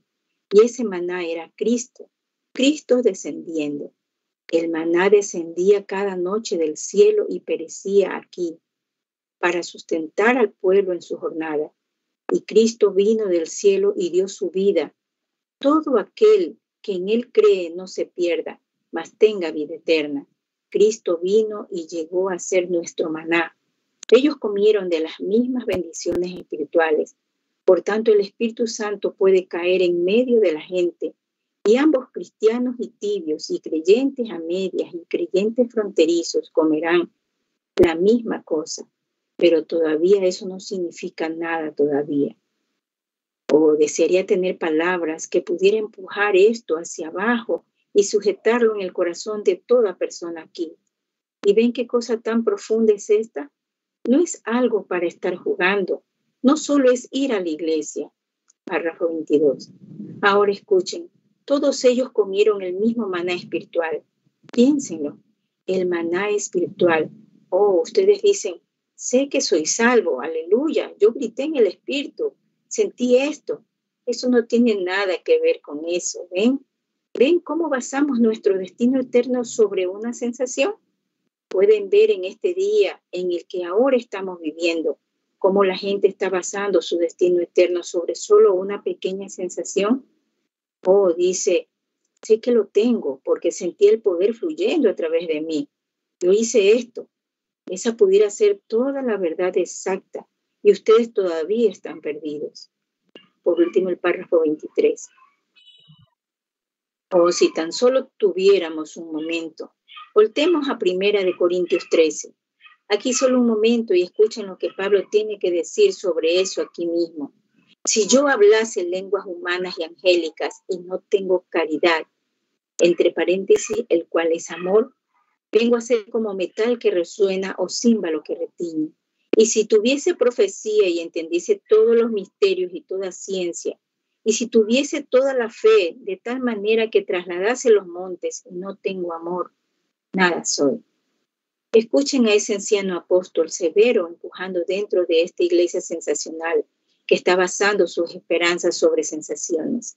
Ahora, esto es escuela dominical, este es un lugar de corrección, este es un lugar de enseñanza, Y, al, y hay del hombre que se para en el púlpito y engaña.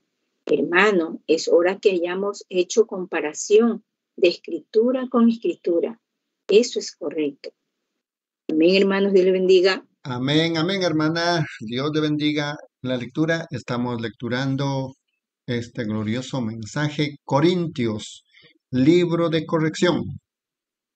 Servicio realizado en Jeffersonville, Indiana, Estados Unidos, el día 14 de abril del año 1957. Voy a continuar en los párrafos 24 al 31. Y si repartiese mis bienes para dar de comer a los pobres, y si entregase mi cuerpo para ser quemado y no tengo amor, de nada me sirve. Vean todas sus buenas obras, todos sus buenos hechos, todas las cosas espirituales que ustedes tienen, todos los dones que tienen, todas las sensaciones que tienen, todo el gozo que tienen, toda la paz que tienen, no tienen nada que ver con ello para comenzar. Piénsenlo. Solo un momento. Y piensen de las iglesias hoy, nuestras grandes iglesias, presbiteriana, metodista, bautista y denominacional. Ellos piensan que porque dicen yo creo, entran, ponen su nombre en el libro, que eso lo concluye. ¿Cuán lejos están?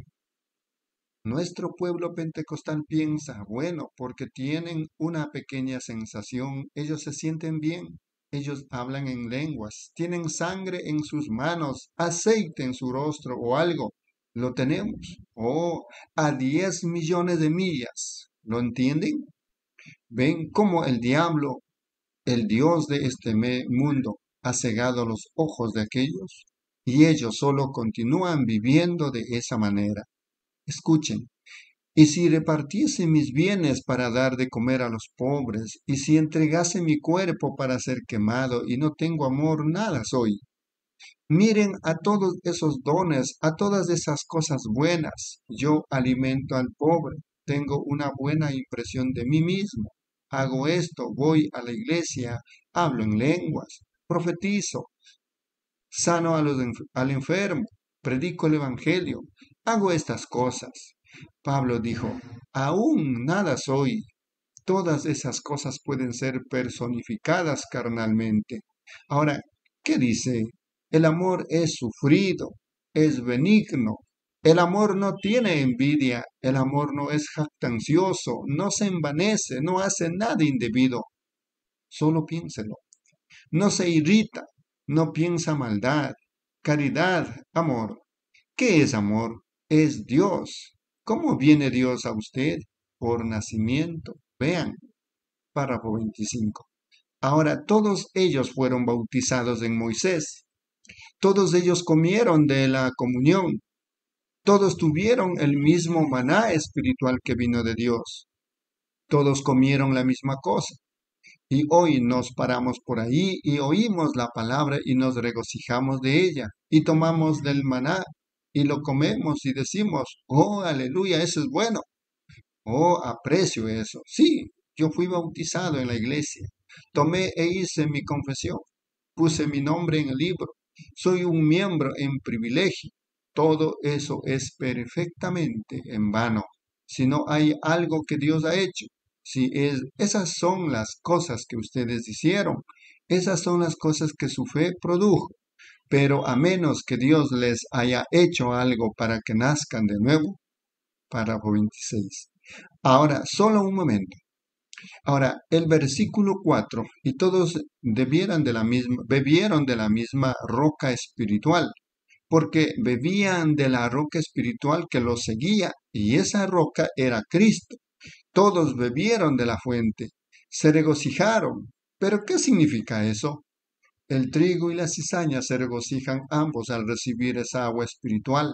Nosotros vamos a la iglesia, palmeamos nuestras manos en el, con el resto de ellos, gritamos con el resto de ellos, saltamos arriba abajo en el piso en el resto de ellos, con el resto de ellos, alabamos a Dios con el resto de ellos, profetizamos con el resto de ellos, hablamos en lenguas como el resto de ellos, oramos por el enfermo como el resto de ellos. Pero él dijo, ahora escuchen mientras vamos un poco más adelante. Párrafo 27. Ahora quiero detenerme un minuto o en esa roca era Cristo. La roca era Cristo. Estaba ahí en forma literal como está hoy en forma espiritual. El maná, la comida, el cual es la palabra que vino de Dios del cielo. Cristo es la palabra de Dios y nosotros comemos la palabra. Vean, nos sentamos igual que ellos. Un mensaje esta mañana. Nosotros escuchamos. Nuestras almas contactando, cogiendo la palabra. Vivimos por la palabra. Él dijo, todos comieron ese mismo maná espiritual y todos ellos bebieron. Todos bebieron de esa misma roca espiritual y esa roca era Cristo. Piénselo. Ahora, ¿a qué iba él a poner fin aquí? Él estaba advirtiendo a esos corintios, tenga cuidado de lo que hacen, porque voy entre ustedes. Uno tiene un salmo, otro tiene una lengua, otro tiene esto y otro tiene aquello. Otro tiene profecía, otro tiene revelación, otro está haciendo esto y otro aquello. Tengan cuidado, no basen su fe sobre eso. Esas cosas están bien, ellas tienen su lugar y en la iglesia, pero nunca basen su salvación sobre eso. Si su vida no cuadra con la palabra de Dios, entonces es hora de enderezarse con Dios. Párrafo 28. Fíjense. Ahora, y esta roca, esta roca fue la roca que estuvo en el desierto. Y quiero que noten, cuando Dios llamó a Moisés y lo envió a Egipto para liberar a los hijos de Israel bajo el yugo del faraón, él dijo, ¿qué es eso que tienes en tu mano? Y él dijo, es una vara. Y él tomó la vara y la echó en tierra y se convirtió en una serpiente.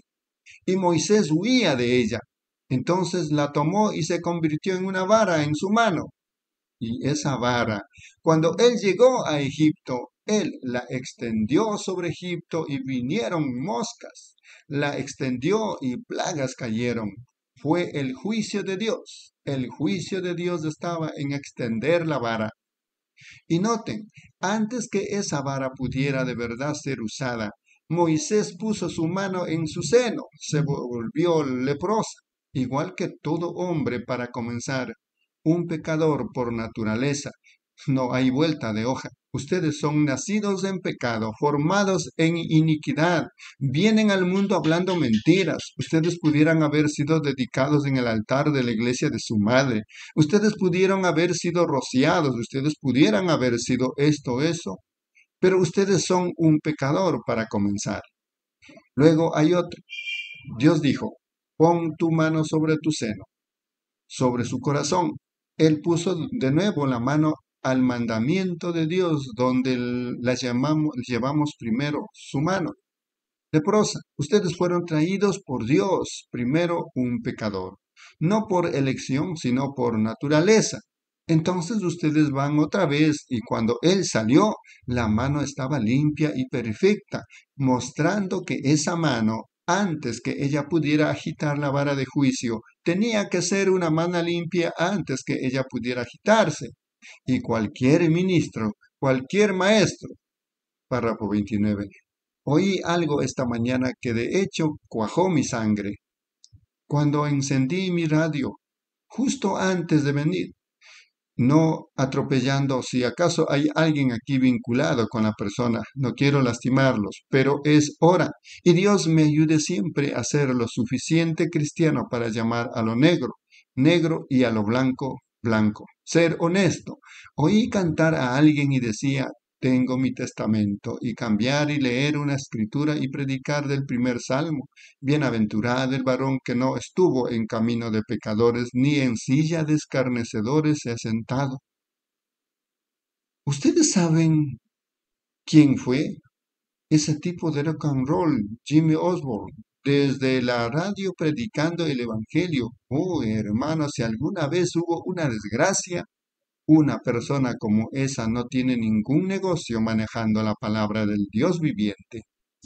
Y ustedes ven a este tipo en el Renforo, Baile, Dance, entre corchetes, un programa musical transmitido por televisión.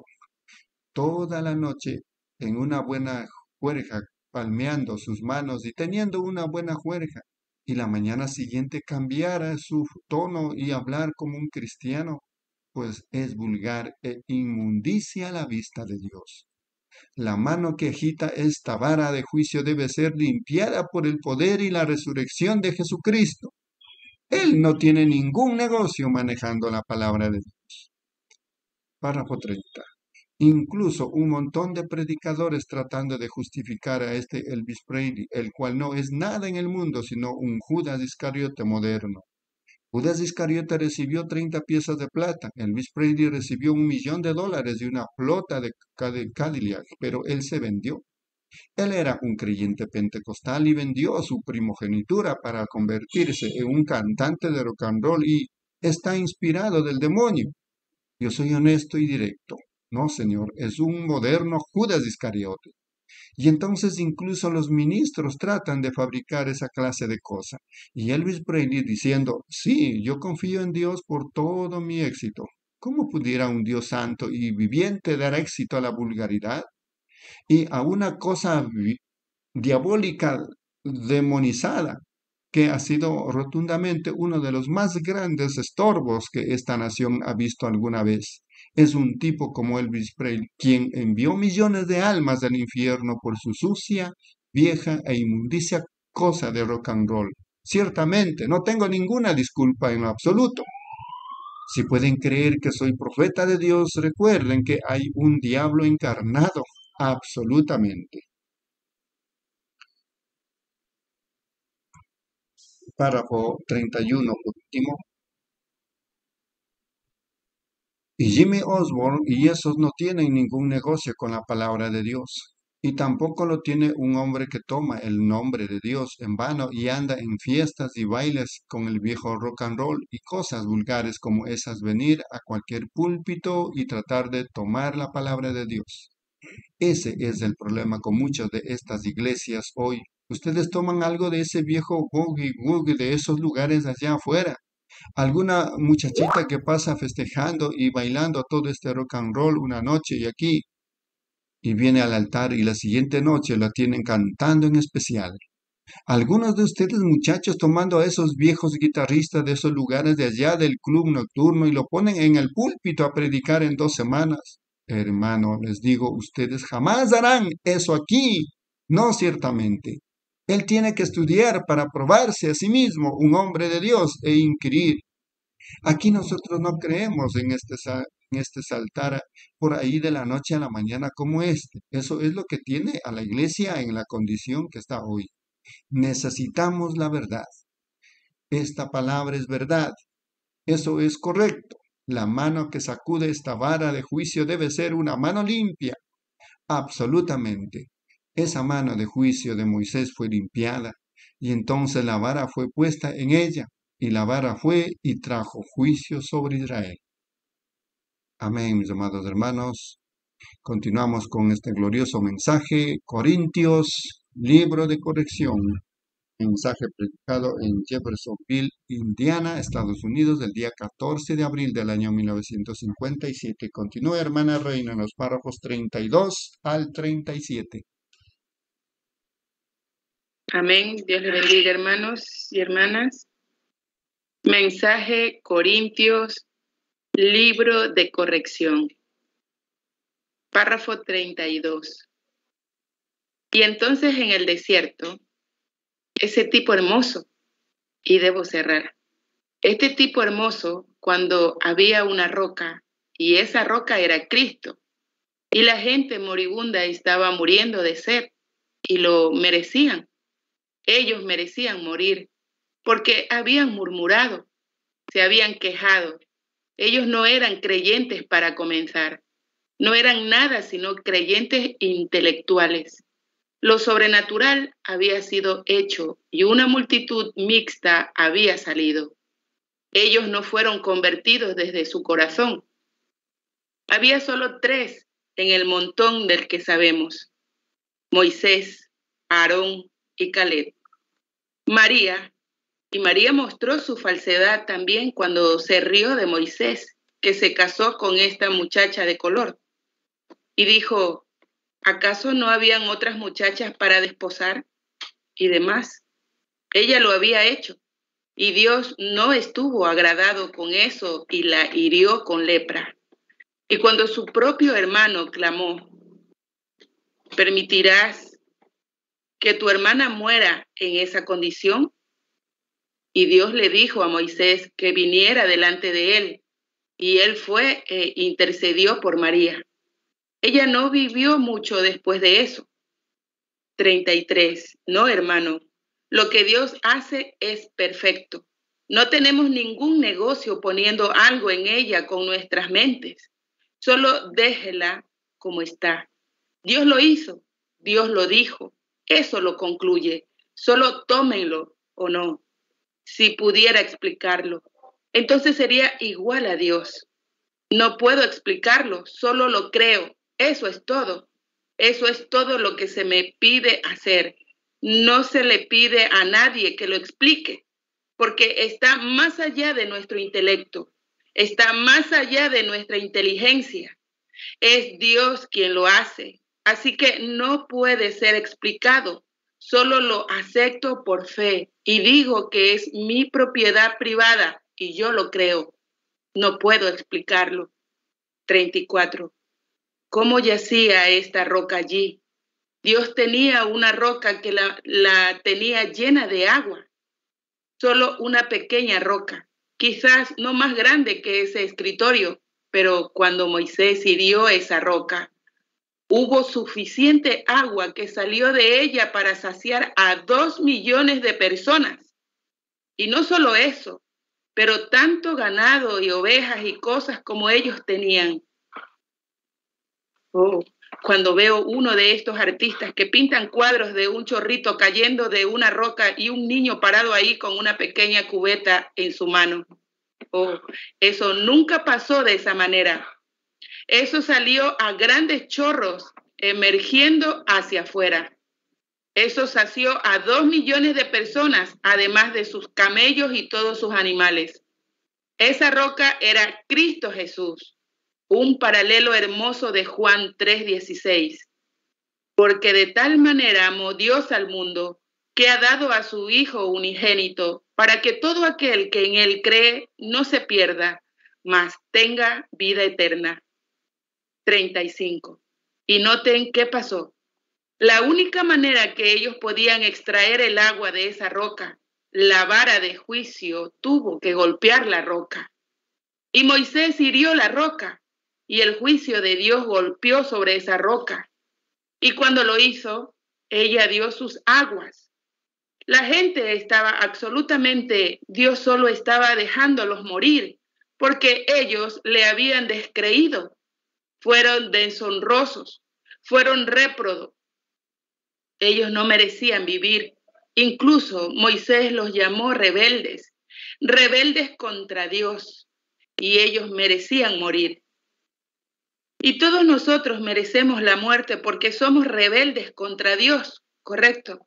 Noten, todos nosotros merecemos morir, pero Dios es tan misericordioso. Él nunca debió pensar en nosotros, pero Él es tan misericordioso que tomó los pecados de cada uno de nosotros e hirió a su propio Hijo amado Cristo para que no pereciéramos, pero tuviésemos vida eterna. 36. ¿Cómo pudiéramos beber de esa roca y no estar correctos en nuestros corazones? Pero, hermano, hay millones de ellos haciéndolo esta mañana. Eso es exactamente correcto. Ellos están confiando en que son bautistas o metodistas o pentecostales. Ellos están confiados porque tienen un pequeño sentimiento gracioso, porque hablan en lenguas, porque gritaron, porque danzaron, porque tuvieron un servicio de sanidad y Dios sanó al enfermo o algo sobre lo que están confiando, porque tuvieron una revelación que eso era lo verdadero, porque hicieron esto.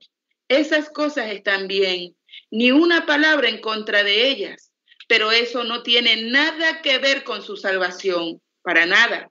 Ustedes pudieran derramar aceite de su mano hasta que saliera por galones o sangre de su rostro y aún no significa nada.